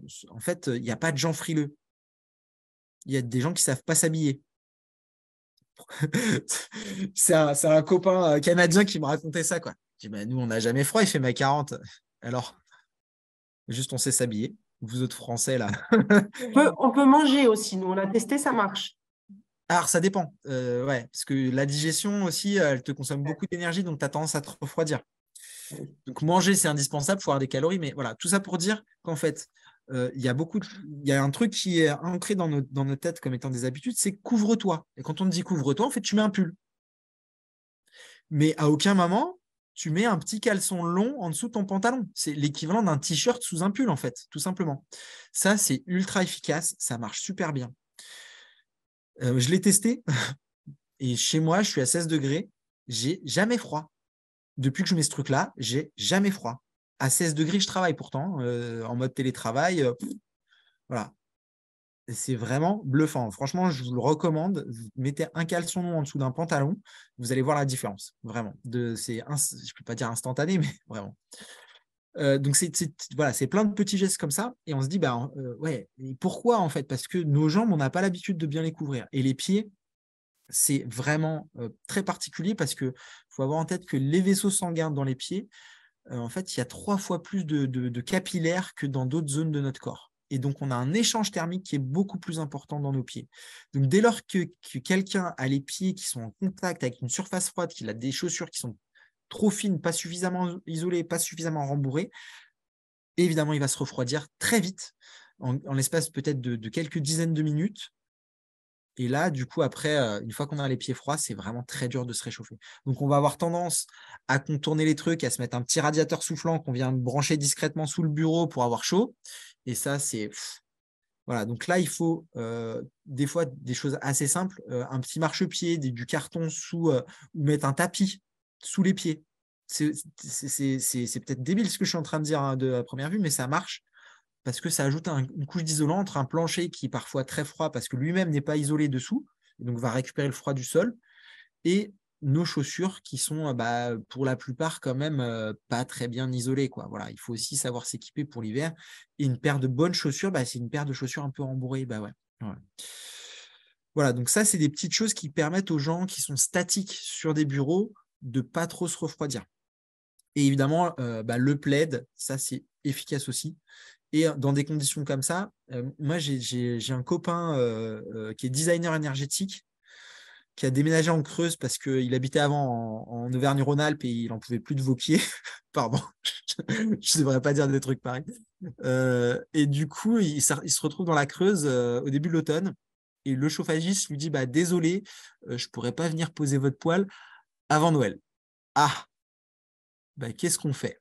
Voilà, donc il a dit, ben, moi je suis designer énergétique, je vais essayer de, vivre cette situation de avoir froid au bureau et comment on gère le truc, comment on trouve des trucs et astuces sans avoir à, euh, brancher des chauffages d'appoint en soufflant électrique. Il aurait pu le faire. Hein. Voilà, les petits radiateurs qui coûtent 30 balles, là, euh, ouais, on peut le faire.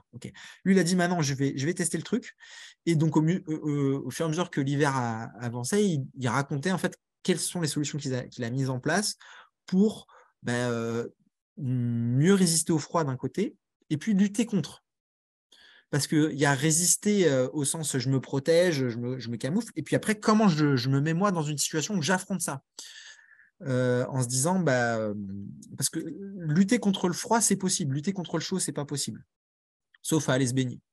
Mais lutter contre le froid, il y a, aussi, par exemple, prenez les, mammifères type vache, mouton, tout ça, bah, en fait, ils sont dehors, ils dorment dehors des fois avec des températures très basses, proches de zéro. Ils n'ont pas froid. Comment ils font? Bah, Ils ont une chaudière intérieure, c'est-à-dire qu'eux-mêmes produisent leur propre chaleur en consommant les aliments et en transformant cette énergie chimique en énergie thermique. Comment on fait ça, nous? Ben, on a oublié aussi comment on le faisait parce qu'on est statique, on est là, on est posé à notre bureau avec notre petite souris, on ne bouge plus. Donc, au fait, il y a aussi potentiellement euh, des gains qui sont intéressants à avoir de ce côté-là en recréant des situations d'activité. Alors, c'est fou de dire ça comme ça, mais comment on recrée de l'activité physique euh, quand on est dans des bureaux, quoi? Enfin, je veux dire, quand on est statique bah, Typiquement, euh, au lieu de faire sa réunion tous autour d'une table, eh ben, on va faire sa réunion en allant marcher dehors dire, mais on va avoir encore plus froid, ça gèle dehors. Ben non, en fait, parce que quand on se met à marcher, au bout de 20 minutes, on refait circuler son sang. On se remet dans une situation où le corps va produire, va consommer de l'énergie euh, de, la bouffe, hein, et la convertir en énergie mécanique, en énergie thermique. Et on va re-rentrer, on a fait notre réunion et on a chaud. Voilà, c'est eux ce qu'ils ont euh, euh, expérimenté pour pouvoir tenir, et, ils, ont, ils ont réussi à tenir jusqu'à 10 degrés il travaillait toute la journée à 10 degrés. Donc, ce n'est pas raisonnable de travailler dans des conditions comme ça, on est bien d'accord. Voilà, je ne suis pas en train de dire qu'il faut aller euh, se, flageller à faire des trucs pareils. Mais voilà, c'était pour expérimenter et se dire bah, comment on trouve des solutions? Parce que peut-être qu'il euh, y a des gens qui vont être obligés de traverser ça. Et donc, comment on fait? Voilà, donc ça, c'était un petit retour d'expérience que je voulais vous partager. Ensuite, je vais regarder si euh, j'ai encore d'autres petits trucs. Ah oui, euh, l'eau chaude. L'eau chaude, j'avais ça à vous proposer. Parce que, alors je ne sais pas si vous, consommez beaucoup d'eau chaude dans les MJC, mais euh, voilà, s'il y a une douche, je ne sais pas si en général, il y a, dans les locaux professionnels, il y a souvent une douche. En tout cas, il y a des lave-mains, des choses comme ça, où là, il y a besoin aussi de, regarder les sujets parce que l'eau chaude, c'est énorme, les consommations, on ne s'en rend pas compte. dans les foyers, c'est le second poste après le chauffage. Donc, première chose à faire, c'est surisoler votre chauffe-eau. Si vous avez un chauffe-eau qui est dans une pièce froide, vous allez chercher une vieille couverture ou vous allez acheter euh, des matériaux isolants à Casto ou à, à Brico Dépôt et on remet une couche d'isolant autour du chauffe-eau. Tout simplement, là, on va gagner 10% de consommation du chauffe-eau parce qu'il va se refroidir beaucoup moins vite. Ça, ça marche très bien.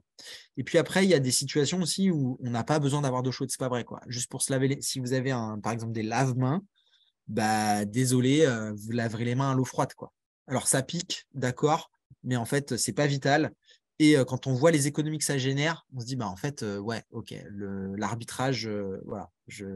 C'est, alors là, c'est un peu coercitif comme méthode, mais voilà, c'est radical et ça marche. Si on a juste l'usage lave-main, on, coupe le on coupe le chauffe-eau et basta. Après, si on a des questions de vaisselle, rinçage, euh, c'est encore un autre sujet. Quoi. Voilà. Moi, j'avais une question. Alors, euh, c'était pas sur l'eau chaude, mais c'était savoir si vous y avez pensé en termes de confort d'été. Est-ce que la végétalisation peut être euh, une solution? Végétaliser, je me dis en confort d'été quand même? C'est pas peut être une solution, c'est une solution. Mmh. Et puis là, c'est c'est vraiment une solution multi-bénéfices parce que, alors, moi, j'ai expérimenté le truc. Hein. J'ai fait construire ma maison il y a quelques années. J'ai eu cette chance-là. Et on a végétalisé beaucoup de toitures, toutes celles qu'on a pu en tout cas, euh, parce qu'on a gardé une toiture aussi pour le photovoltaïque. Euh, et donc, euh, vraiment, la végétalisation, ça offre du rafraîchissement en été qui c'est vraiment très conséquent. et en hiver?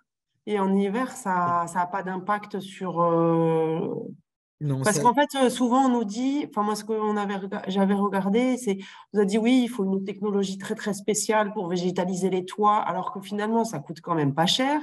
Euh, enfin, je veux dire, la matière première euh, de, la terre et de faire pousser des trucs, c'est pas ça qui coûte le plus cher, mais on nous a dit qu'il fallait des membranes super techniques.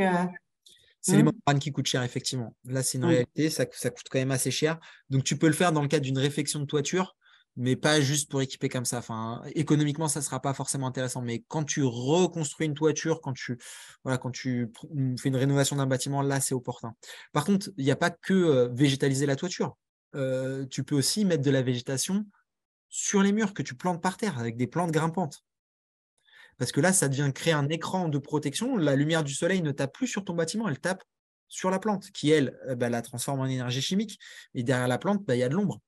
Voilà, il y a des plantes qui poussent relativement rapidement, que tu peux faire en, même en saisonnier, type hippomée, qui est une sorte de liane. si tu en plantes beaucoup, ça, ça peut devenir assez touffu. Et intérieur ou extérieur Extérieur. Extérieur. Extérieur. Ah ouais, extérieur. Par contre, ça va te consommer de l'eau. Voilà. Donc là, l'idéal, c'est récupérer de l'eau. Enfin, moi, ce que j'ai fait chez moi sur les, toitures, c'est récupérer les eaux des douches. On a un système de récupération des eaux des douches qui réinjecte l'eau sur les toitures. Mais ça, tu peux le faire que quand tu rénoves un bâtiment. Tu ne peux pas le faire comme ça. Voilà. Donc sur ce, sur ce sujet végétalisation, en plus, tu as des bienfaits en termes de, confort, euh, de, de, de, sentiment de bien-être quand tu arrives dans un bâtiment il y a des végétaux en été ça, apporte un plus d'un point de vue humain. Et puis d'un point de vue biodiversité, là, c'est vraiment très chouette aussi. Tu peux euh, avoir des, plantes fleuries, tu peux mettre des jasmins, des choses comme ça qui, ont des feuillages persistants aussi à certains endroits qui, qui donnent un peu une. Euh, alors, ça tient peut-être pas dans toutes les régions. Je sais pas, à Groyer, vous avez peut-être des gelées un peu fortes, j'en sais rien. En tout cas, ça se tente. Euh, voilà, donc la végétalisation, c'est vraiment un super sujet. Et euh, bah, on, a aussi des exemples de la sagesse de nos aïeux sur ce sujet-là. Par exemple, la vigne vierge. Euh, elle, protégeait du soleil en été et le feuillage tombant en hiver, on bénéficie quand même des apports solaires pour chauffer la, maison en hiver. Donc ça, c'est... Alors, il y a plein de gens qui disent oui, mais ça abîme la façade. Bah oui, ça abîme la façade. c'est vrai, ça abîme la façade. C'est, une réalité. Mais euh, si on n'avait pas des bâtiments en kéron avec des crépis, pardon, avec des, crépis, des crépis pas géniaux, euh, on n'aurait pas aussi le même impact. C'est sûr que quand on avait avant des bâtiments en pierre avec des, des, joints à chaux, c'était quand même beaucoup moins problématique. Voilà. Donc oui, très bonne idée cette végétalisation. Et puis voilà, sur les toitures des bâtiments, bah, il y a possibilité aussi de, de, Alors si vous avez des toitures plates, là, de mettre des, des matériaux en, toiture ça, ça, peut, ça peut être aussi des matériaux de récupération qu'on met par exemple sur des, sur des cales ou sur des, faire un caillebotis avec des planches en bois, des, palettes de récup, des choses comme ça qui, qui, vont, qui vont donner de l'ombrage et qui protègent de l'ensoleillement. Voilà, ça, et le fait de peindre les, les toits en blanc, ouais, notamment sur les. Ça fonctionne réellement? Ah ouais, ouais, ouais, carrément. Oui, oui. Ah, c'est incomparable. Euh, on a, euh, nous, un ancien collègue euh, qui, a monté justement sa, boîte sur ce sujet-là, là, qui bossait dans l'agence, enfin dans la coopérative de Nantes. il a monté ce truc-là et en fait, c'est vraiment son métier maintenant, c'est travailler avec le, notamment le secteur tertiaire. On a beaucoup de surfaces qui sont avec des, des, étanchéités en bitume là, qui sont du coup très sombres. Et en fait, la, la température, elle monte jusqu'à 80 degrés. Donc, il peint en blanc et là, la température, elle reste à la température extérieure. Donc ça monte à 35, 40, peut-être 45 des fois, allez. Mais pas plus. Parce qu'en fait, le blanc va réfléchir toute la lumière. Et même d'un point de vue global, en fait, euh, euh, quand on discute réchauffement climatique, si on peignait l'ensemble des surfaces artificialisées par l'homme sur Terre, bah, en fait, on, trouverait une, réponse, je ne vais pas dire instantanée, mais une bonne partie de la réponse au réchauffement climatique. Et c'est que parce qu'en fait, ça, ça, euh, comment dire, ça réchauffe pas le bâtiment parce qu'en fait, ça la réverbère, en fait, la lumière du soleil. Mais est-ce que, par exemple, sur les oiseaux, c'est euh, c'est problématique pour les oiseaux? Aucune idée. Je, ne vais pas te dire des bêtises. d'accord. Je n'en sais rien. Savoir si ça les dérange ou pas. Euh. Ah bah forcément, ça, ça, a un autre impact quelque part, et peut-être les oiseaux, ça va les gêner. Mais bon, je pense pas qu'il y ait énormément d'oiseaux en plein midi en, en, mode caniculaire là où c'est le plus, le plus intense. Quoi. Après, peut-être, euh, effectivement, ça mériterait une étude plus poussée, mais je pense pas que ça existe parce qu'il y a tellement peu de toitures qui sont dans cette situation-là. Que, Après, il faut voir peut-être dans des pays comme la Grèce qui pratique ça depuis euh, des siècles, euh, ce qu'il ce en est. quoi. Peut-être aussi un phénomène d'adaptation des espèces environnantes, des choses comme ça. C'est vrai, tout à fait. En tout cas, on appelle ça d'un point de vue technique l'albédo. C'est le, le, niveau de réverbération de la lumière solaire voilà, du coup, là, elle n'est pas du tout absorbée par les bâtiments, elle est entièrement réfléchie et du coup, c'est vraiment une technique très efficace aussi pour limiter les besoins en climatisation. Voilà. Et pareil, ça marche très bien aussi avec le bois, en fait. Même si ça ne réfléchit pas entièrement la lumière, le bois, en fait, il va pas transmettre la chaleur à l'intérieur du bâtiment. Donc, si vous récupérez des vieilles planches, des vieilles palettes sur des toitures terrasses, c'est vraiment efficace. Quoi. Voilà, parce que je pense dans, dans la situation des MJC, il y a aussi un, potentiel intéressant à valoriser. C'est la, le bénévolat, la main-d'œuvre qui peut euh, exister par euh, tous les gens que vous accueillez, qui peut aussi être motivé pour faire un petit chantier participatif euh, d'une demi-journée. Allez, on se motive, on fait ça, on plante ça, on, installe tel truc à tel endroit. Alors, par exemple, euh, y a les concepts d'architecture bioclimatique, c'est euh, laisser rentrer la lumière du soleil en, été, en hiver, mais pas en été. Comment on fait ça? Ben, Par exemple, on peut installer des casquettes devant les fenêtres pour éviter que le, le soleil pénètre directement pendant l'été, mais qu'il puisse quand même pénétrer en hiver. Donc là, ça, c'est des choses qui sont facilement équipables aussi. Voilà, on se construit un petit châssis en bois, euh, on met cette casquette, euh, peut-être avec des matériaux de récup. Ça, c'est des choses qui sont démontables et qui peuvent aussi euh, se gérer sans avoir trop de, parcours administratif. Les casquettes, c'est les lattes plutôt qui, sont inclinables. C'est ça, les casquettes? Une casquette, c'est juste une visière, en fait. Ah, mais je pensais sur les bâtiments. Sur les bâtiments. En fait, c'est une casquette, c'est bah, ah juste au-dessus de la fenêtre, en fait. Ah. Voilà, c'est juste comme une visière que tu mets au-dessus de la fenêtre pour empêcher que le soleil vienne. ah oui. Pardon, dans l'autre sens, il vienne rentrer dans, ton, dans, ton, dans ta fenêtre. Voilà, c'est juste avoir un, petit déport. Et, par un petit peu ce que les gens ils ont quand ils ont le comment ça s'appelle là les trucs les bras ouais qu'ils mettent devant leur maison là. Inclinables. Ouais. Ouais, les, comme les stores avec des, des, lames orientables. Il y a ça et puis après il y a la, le auvent là qui s'ouvre. Ah oui, les stores classiques. mais non, mais parce que moi, je pensais à mon bâtiment, mais moi, il, fait, euh, il est en hauteur, il est sur plusieurs étages. Donc, euh, je. Ouais. Mais c'est pas grave, tu peux en mettre à différents étages. Mmh. Et quand tu vois la lumière, s'il est exposé vraiment plutôt sud, le problème, c'est quand tu as des façades qui sont exposées à l'ouest. Là, c'est le, le, calvaire parce que tu ne peux pas mettre de casquette, vu que la lumière à l'ouest, elle est toujours rasante, c'est le moment où le soleil se couche. Et c'est le moment où la, lumière pénètre systématiquement dans les bâtiments. Et ça, bah, il n'y a rien d'autre à faire que de fermer les volets et puis, pour le confort d'été, il y a le, comment tu gères ta ventilation nocturne, comment tu arrives à, créer des circulations d'air dans ton bâtiment alors qu'il n'y a personne dedans et que tu dois le sécuriser? Ça, c'est un vrai enjeu de, travail avec aussi qu'est-ce que tu peux laisser ouvert comme fenêtre, notamment celles qui sont plutôt vers le haut du bâtiment pour créer des effets de circulation et laisser l'air chaud s'évacuer. Mais ça ne résout pas le problème de, l'hiver. Quoi. Où l'hiver, il faut vraiment là aussi travailler sur faire, euh, essayer de mettre des volets protégés du vent aussi, les bâtiments. Euh, typiquement, quand tu as des, surfaces exposées au vent, bah, le vent, euh, vous voyez bien que quand vous êtes en plein vent, vous avez une température ressentie qui est beaucoup plus froide parce que le vent vient par justement conduction sur votre peau retirer la chaleur. Quoi. Bah, pour les bâtiments, c'est pareil. Voilà, en fait, on est très similaires. Hein. Enfin, voilà, les principes de la physique s'appliquent aussi bien aux personnes qu'aux bâtiments. Voilà. Euh, je vois l'heure qui tourne, là, il est déjà 5h30. Euh, juste pour, euh, pour préciser deux, trois choses, je vous ai mis aussi dans la, dans la présentation quelques, quelques liens sympathiques, notamment des fiches sobriété qui sont produites par l'ADEME, où il y a pas mal de choses qui existent. Euh, avec euh, voilà, plein de gestes euh, qui, pourront soit concerner directement vous en tant que personne, la MJC, les utilisateurs de la MJC, peut-être la collectivité. Il y a, y a, plein de choses qui sont produites par l'ADEME qui sont quand même assez intéressantes.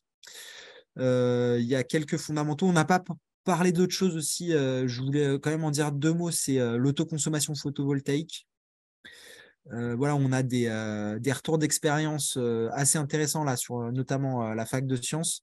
Mais bon, ça concerne plutôt les, propriétaires des bâtiments parce que c'est quand même des investissements importants qui peuvent se faire que en concertation avec les propriétaires. Mais on peut couvrir une partie significative des besoins estivaux. donc là, vous aurez quelques, infos là-dessus aussi dans la présentation. Et puis s'il y a besoin, on pourra refaire un, truc un peu plus dédié, mais je ne suis pas sûr que ça soit le cœur du sujet. Voilà, je ne sais pas si vous aviez peut-être d'autres questions, réactions ou quoi que ce soit. En tout cas, moi, je, peux rester encore à votre disposition pour répondre à vos questions avec plaisir. Bah, déjà, merci parce que ça donne plein d'éléments et effectivement, comme disait Julie, c'est qu'on entend plein de choses entre des experts, des contre-expertises, des savoirs, des, dit, des choses comme ça. Et que ça donne un peu une vision un peu, un peu générale. Quoi. Et que par contre, le chantier, il est énorme. le chantier, il est énorme et je le vois à, plusieurs titres. C'est-à-dire que je le vois sur bah, déjà comprendre toute la mécanique et qui fait que bah, comment qui paye et comment ça se paye, etc. Ça, c'est voilà. Il y, a, y a après tout ce qui va être la gestion des bâtiments et comme dit Julie, effectivement, au jour d'aujourd'hui, il n'y a pas beaucoup de structures qui se retrouvent confrontées à ça, mais on sait que ça va aller en augmentant et je pense que c'est très bien qu'on ait pu avoir ces informations-là parce qu'il va falloir qu'on accompagne cette euh, euh, transition plus malheureuse là pour le coup. Euh, voilà. Et ensuite, je vois aussi toute une marge de manœuvre de sensibilisation de nos publics sur les territoires, c'est-à-dire que les problématiques de de précarité énergétique, elle touche aussi énormément euh, les publics et les usagers des, MJC, quoi, et qu'il y a un besoin énorme de, sensibilisation qu'il n'y a pas ou très peu, quoi, en tout cas dans, dans, nos structures. Donc moi, je trouve que, en tout cas, c'était une présentation, effectivement, on pourrait passer dix jours ensemble, parce que Ça, peut imaginer des, choses. Après, ce que, ce que je trouverais intéressant, c'est à la fois nous, on peut essayer de travailler sur comment on facilite aussi un peu les diagnostics et les, les états des lieux euh, thermiques des, euh, des MJC, comment est-ce qu'elles peuvent avoir un peu plus la main sur ce qu'elles consomment. Euh, et comment elles peuvent un peu mieux maîtriser ça. Et je me dis comment on peut aussi faire de nos MJC, et ça c'est un message que, que, je te fais Simon, c'est nos MJC peuvent être aussi des laboratoires d'expérience. quoi.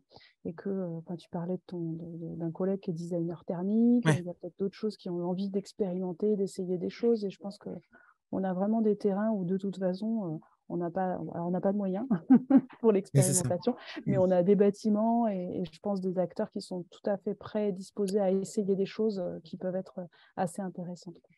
Ouais, ouais. Et je te remercie d'avoir cité ça parce que j'ai quand même oublié de dire un truc vraiment super important euh, sur cette histoire d'expérimentation. C'est que en fait, il faut, là, on est dans une situation où il faut casser les codes. C'est-à-dire qu'il y a plein de moments où on se dit Ah, j'ai pas le droit de toucher à ce bouton. Ben, en fait, si. Voilà. Moi, j'ai fait une intervention la dernière fois au, Conseil euh, environnemental, euh, pardon, euh, économique et social de, de l'Aude, là, le CESE. Je suis arrivé dans la pièce, c'était surchauffé. Je m'en fous, en fait, j'ai pas le droit de toucher au bouton. il y a écrit ne touchez pas au bouton, mais j'y touche quand même, en fait. Parce que quand on, est, quand on constate un dysfonctionnement, eh ben, on se réapproprie. Il n'y a, pas, a pas de sujet. Ça va tuer personne, en fait, de baisser le chauffage, en. S'il y a des gens qui se plaignent, bah, ok, on peut, on peut remettre le chauffage, mais en fait, ça n'aura pas de conséquences négatives, en fait, si ce n'est quelqu'un qui va râler ou qui va avoir un sentiment d'inconfort. Mais là, quand on voit la conséquence de laisser le truc allumé, en fait, on est tous en danger économique aujourd'hui à cause de ça. Donc, euh, je pense qu'il faut s'autoriser maintenant à prendre ses responsabilités, à dire bah, euh, c'est mal géré ou c'est pas géré, y a pas, le thermostat fonctionne pas ou quoi, bah, tant pis, moi je prends l'action de. Il faut s'autoriser. Et les conséquences seront toujours moins pires que de ne rien faire. Voilà, donc autorisez-vous, lâchez, enfin pas lâchez-vous à faire n'importe quoi non plus, mais en tous les cas, vous avez, vous avez le droit et vous avez peut-être même le devoir finalement de, d'y aller parce que c'est notre responsabilité collective de, de se réapproprier le sujet. Quoi. Voilà, c'était le, la petite conclusion. non, merci. Julie, merci. Ouais, ouais, non, merci beaucoup. Moi, je voulais juste effectivement dire que, que je, je quand on s'est retrouvé face à ce problème, euh, je trouve que d'abord, euh, pour Clémence, c'est vraiment, je trouve important de se dire, qu'est-ce qui est de l'ordre de, de ce qu'on peut faire nous, en fait? Et qu'est-ce qui est de l'ordre de, de, du tellement, tellement grand pour nous, qui c'est de l'ordre de la négociation avec les propriétaires des bâtiments sur du long terme, etc. Et euh, parce que sinon, la réflexe, c'est bon, ben, on peut rien faire c'est la mairie. Et donc, euh, alors qu'en fait, il y a plein de petits gestes qu'on peut quand même faire là-dessus. Et ensuite, dire quand on s'est retrouvé face à ça, ben, euh, en fait, on a mis tout le monde devant le fait accompli. On a dit voilà, euh, facture de 450%, on ne peut pas les payer. Qu'est-ce qu'on fait? Et première chose, quand même, de la part des salariés, moi, je ne m'attendais pas du tout, mais je leur ai dit ben, brainstorming, sortez vos idées. Et là, il y a eu énormément d'idées qui sont sorties, mais vraiment naturellement. Ensuite, on a fait ça avec les jeunes. On a dit, bon, ben voilà, on a expliqué tout ça. Puis ils ont sorti quand même euh, des tonnes d'idées. Et, euh, et, les adhérents, donc on leur a enlevé énormément en, qualité, euh, quelque part, de confort. Et, et personne n'a râlé, hein. personne. Hein. Parce qu'ils ont, voilà, ils se sont tous adaptés, adaptés là-dessus, sur cette situation. Donc au final, finalement, la, la, je trouve juste qu'il y a la pédagogie de, comme vous dites, si on passe par l'effort, Mais là, ça peut être, voilà, collectivement, on se retrouve face à ça.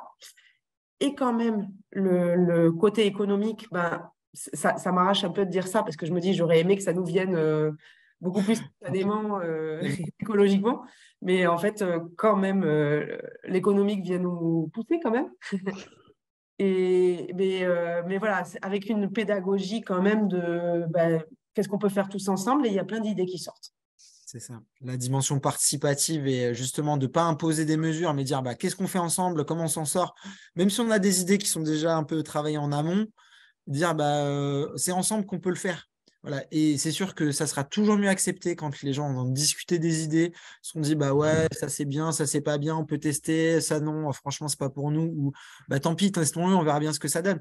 Mais du moins, du, moment que les gens sont aussi, enfin que les utilisateurs sont impliqués dans la démarche, qu'ils ont pu euh, exprimer leur point de vue, donner leurs idées, bah ça donne tout de suite un résultat différent en termes d'appropriation. Et c'est vraiment ça, c'est qu'il y a besoin d'accompagnement. En fait, il n'y a pas besoin d'expliquer aux gens ce qu'ils ont à faire. Il y, aura, il y a besoin de leur dire maintenant, c'est à vous de vous gérer, en fait. C'est à vous de faire en sorte que ça ne soit pas le drame et qu'on ne soit pas obligé de fermer parce qu'on en est là. Et ça, c'est quand même aussi un discours à tenir en disant, bah, euh, surtout quand on est en situation de responsabilité, euh, pilotage des bâtiments, pilotage de, des MJC, bah, c'est pas, on ne peut pas tout faire, on ne peut pas être responsable de tout, on ne peut pas être responsable du bonheur des autres. Voilà. Donc c'est à nous de nous prendre en main. Quoi. Responsabilité, conscience et bienveillance. Voilà en guise de deuxième conclusion. Raphaël, tu voulais dire quelque chose?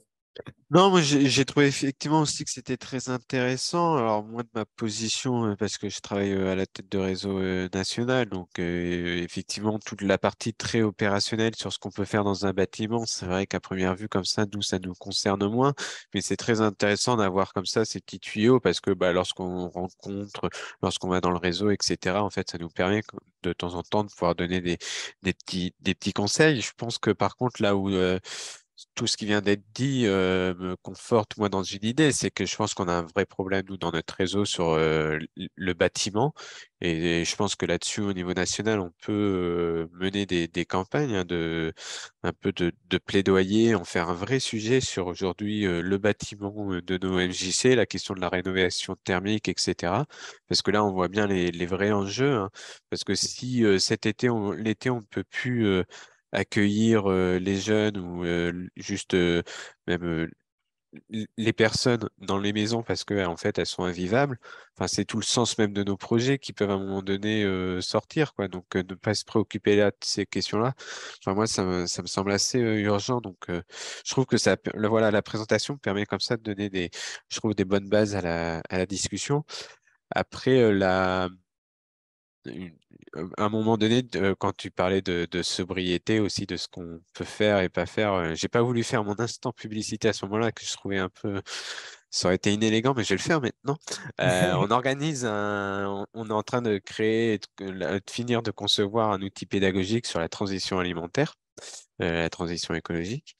Et dans l'un des, des modules, tout ça, en fait, on, on voit la on va parler beaucoup de la question de l'énergie, hein, parce que la, question de l'alimentation, en fait, est indissociable de l'énergie à un moment donné, euh, à la fois parce que pour créer, enfin, pour puiser, euh, en fait, euh, cultiver cette, cette alimentation, bah, en fait, on va puiser énormément d'énergie, qu'elle soit humaine ou, ou pas ou artificielle et on va faire un, un petit test sur voilà Imaginez qu'on doit râper une, des carottes et on va simuler en fait la production, une râpe à carottes avec une dynamo qui va en fait nous montrer le nombre de kilowattheures en fait que l'on produit euh, lorsqu'on râpe euh, des carottes. Et le voilà bah, l'écart de temps euh, si on l'avait fait avec une râpe électrique mais en même temps l'énergie qui a été euh, qui n'a pas été consommé, ce genre de choses. Donc je me dis que bon, on s'est pas trompé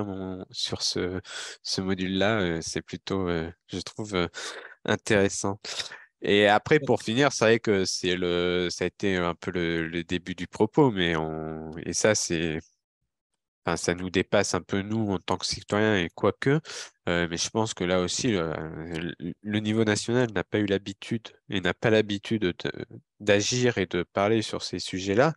Mais on pourrait se poser la question, c'est réellement aujourd'hui le mécanisme en fait de l'électricité en France et de l'énergie en France, avec la libéralisation et la privatisation suite à, différentes réglementations européennes, etc., où on voit bien en fait où est-ce que ça nous met aujourd'hui. Et je trouve que là, il y a, c'est vrai que c'est un sujet un peu de fond que l'on qu'on oublie un peu de se coltiner, je pense, nous, de temps en temps, dans nos réseaux, on va être sur des sujets autres, mais on voit bien, en fait, aujourd'hui, les conséquences qu'elles ont. J'étais encore moi qui suis un grand utilisateur du réseau ferré pour justement le travail, on voit bien qu'il est en train de se passer exactement la même chose au niveau du réseau ferré et, on en voit après les conséquences. Dix ans de libéralisation de l'énergie, c'est des prix qui augmentent et des choses ingérables.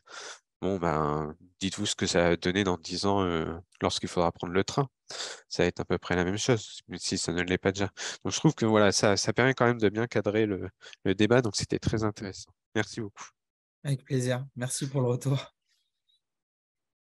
Il n'y a pas d'autres euh, interventions. Je vous propose de conclure. Euh, merci. Je, voulais juste remercier. Ah, pardon, Jérémy. Oui, je voulais juste remercier pour les petites astuces parce que moi, je suis dans, on est dans le même cas que Julie. Donc, euh, Julie, bon courage. C'est un vrai enjeu et c'est un peu flippant pour la suite quand même parce que ça, pourrait mettre vraiment en danger nos, structures. C'est une réalité. Bon, bah, tant mieux que ça a pu apporter au local et puis on va, on va continuer à. Et, je, rajoute juste que, je, suis désolé, je te coupe parce que j'ai oublié de vous le dire. Euh, sur la caméra thermique, si ça se fait, je veux bien être au courant. Et sur les terrains d'expérimentation, si un jour ça se met en place, je veux bien être au courant aussi. Ouais, on n'y manquera pas, bien sûr. Chouette. Je vais acheter une euh, caméra thermique sur Amazon euh, dès demain. Non, je sur Amazon, parfait. Bon, merci à tous. Ouais, bonne soirée et à très bientôt. Merci. Merci à vous. Merci beaucoup. Bonne soirée.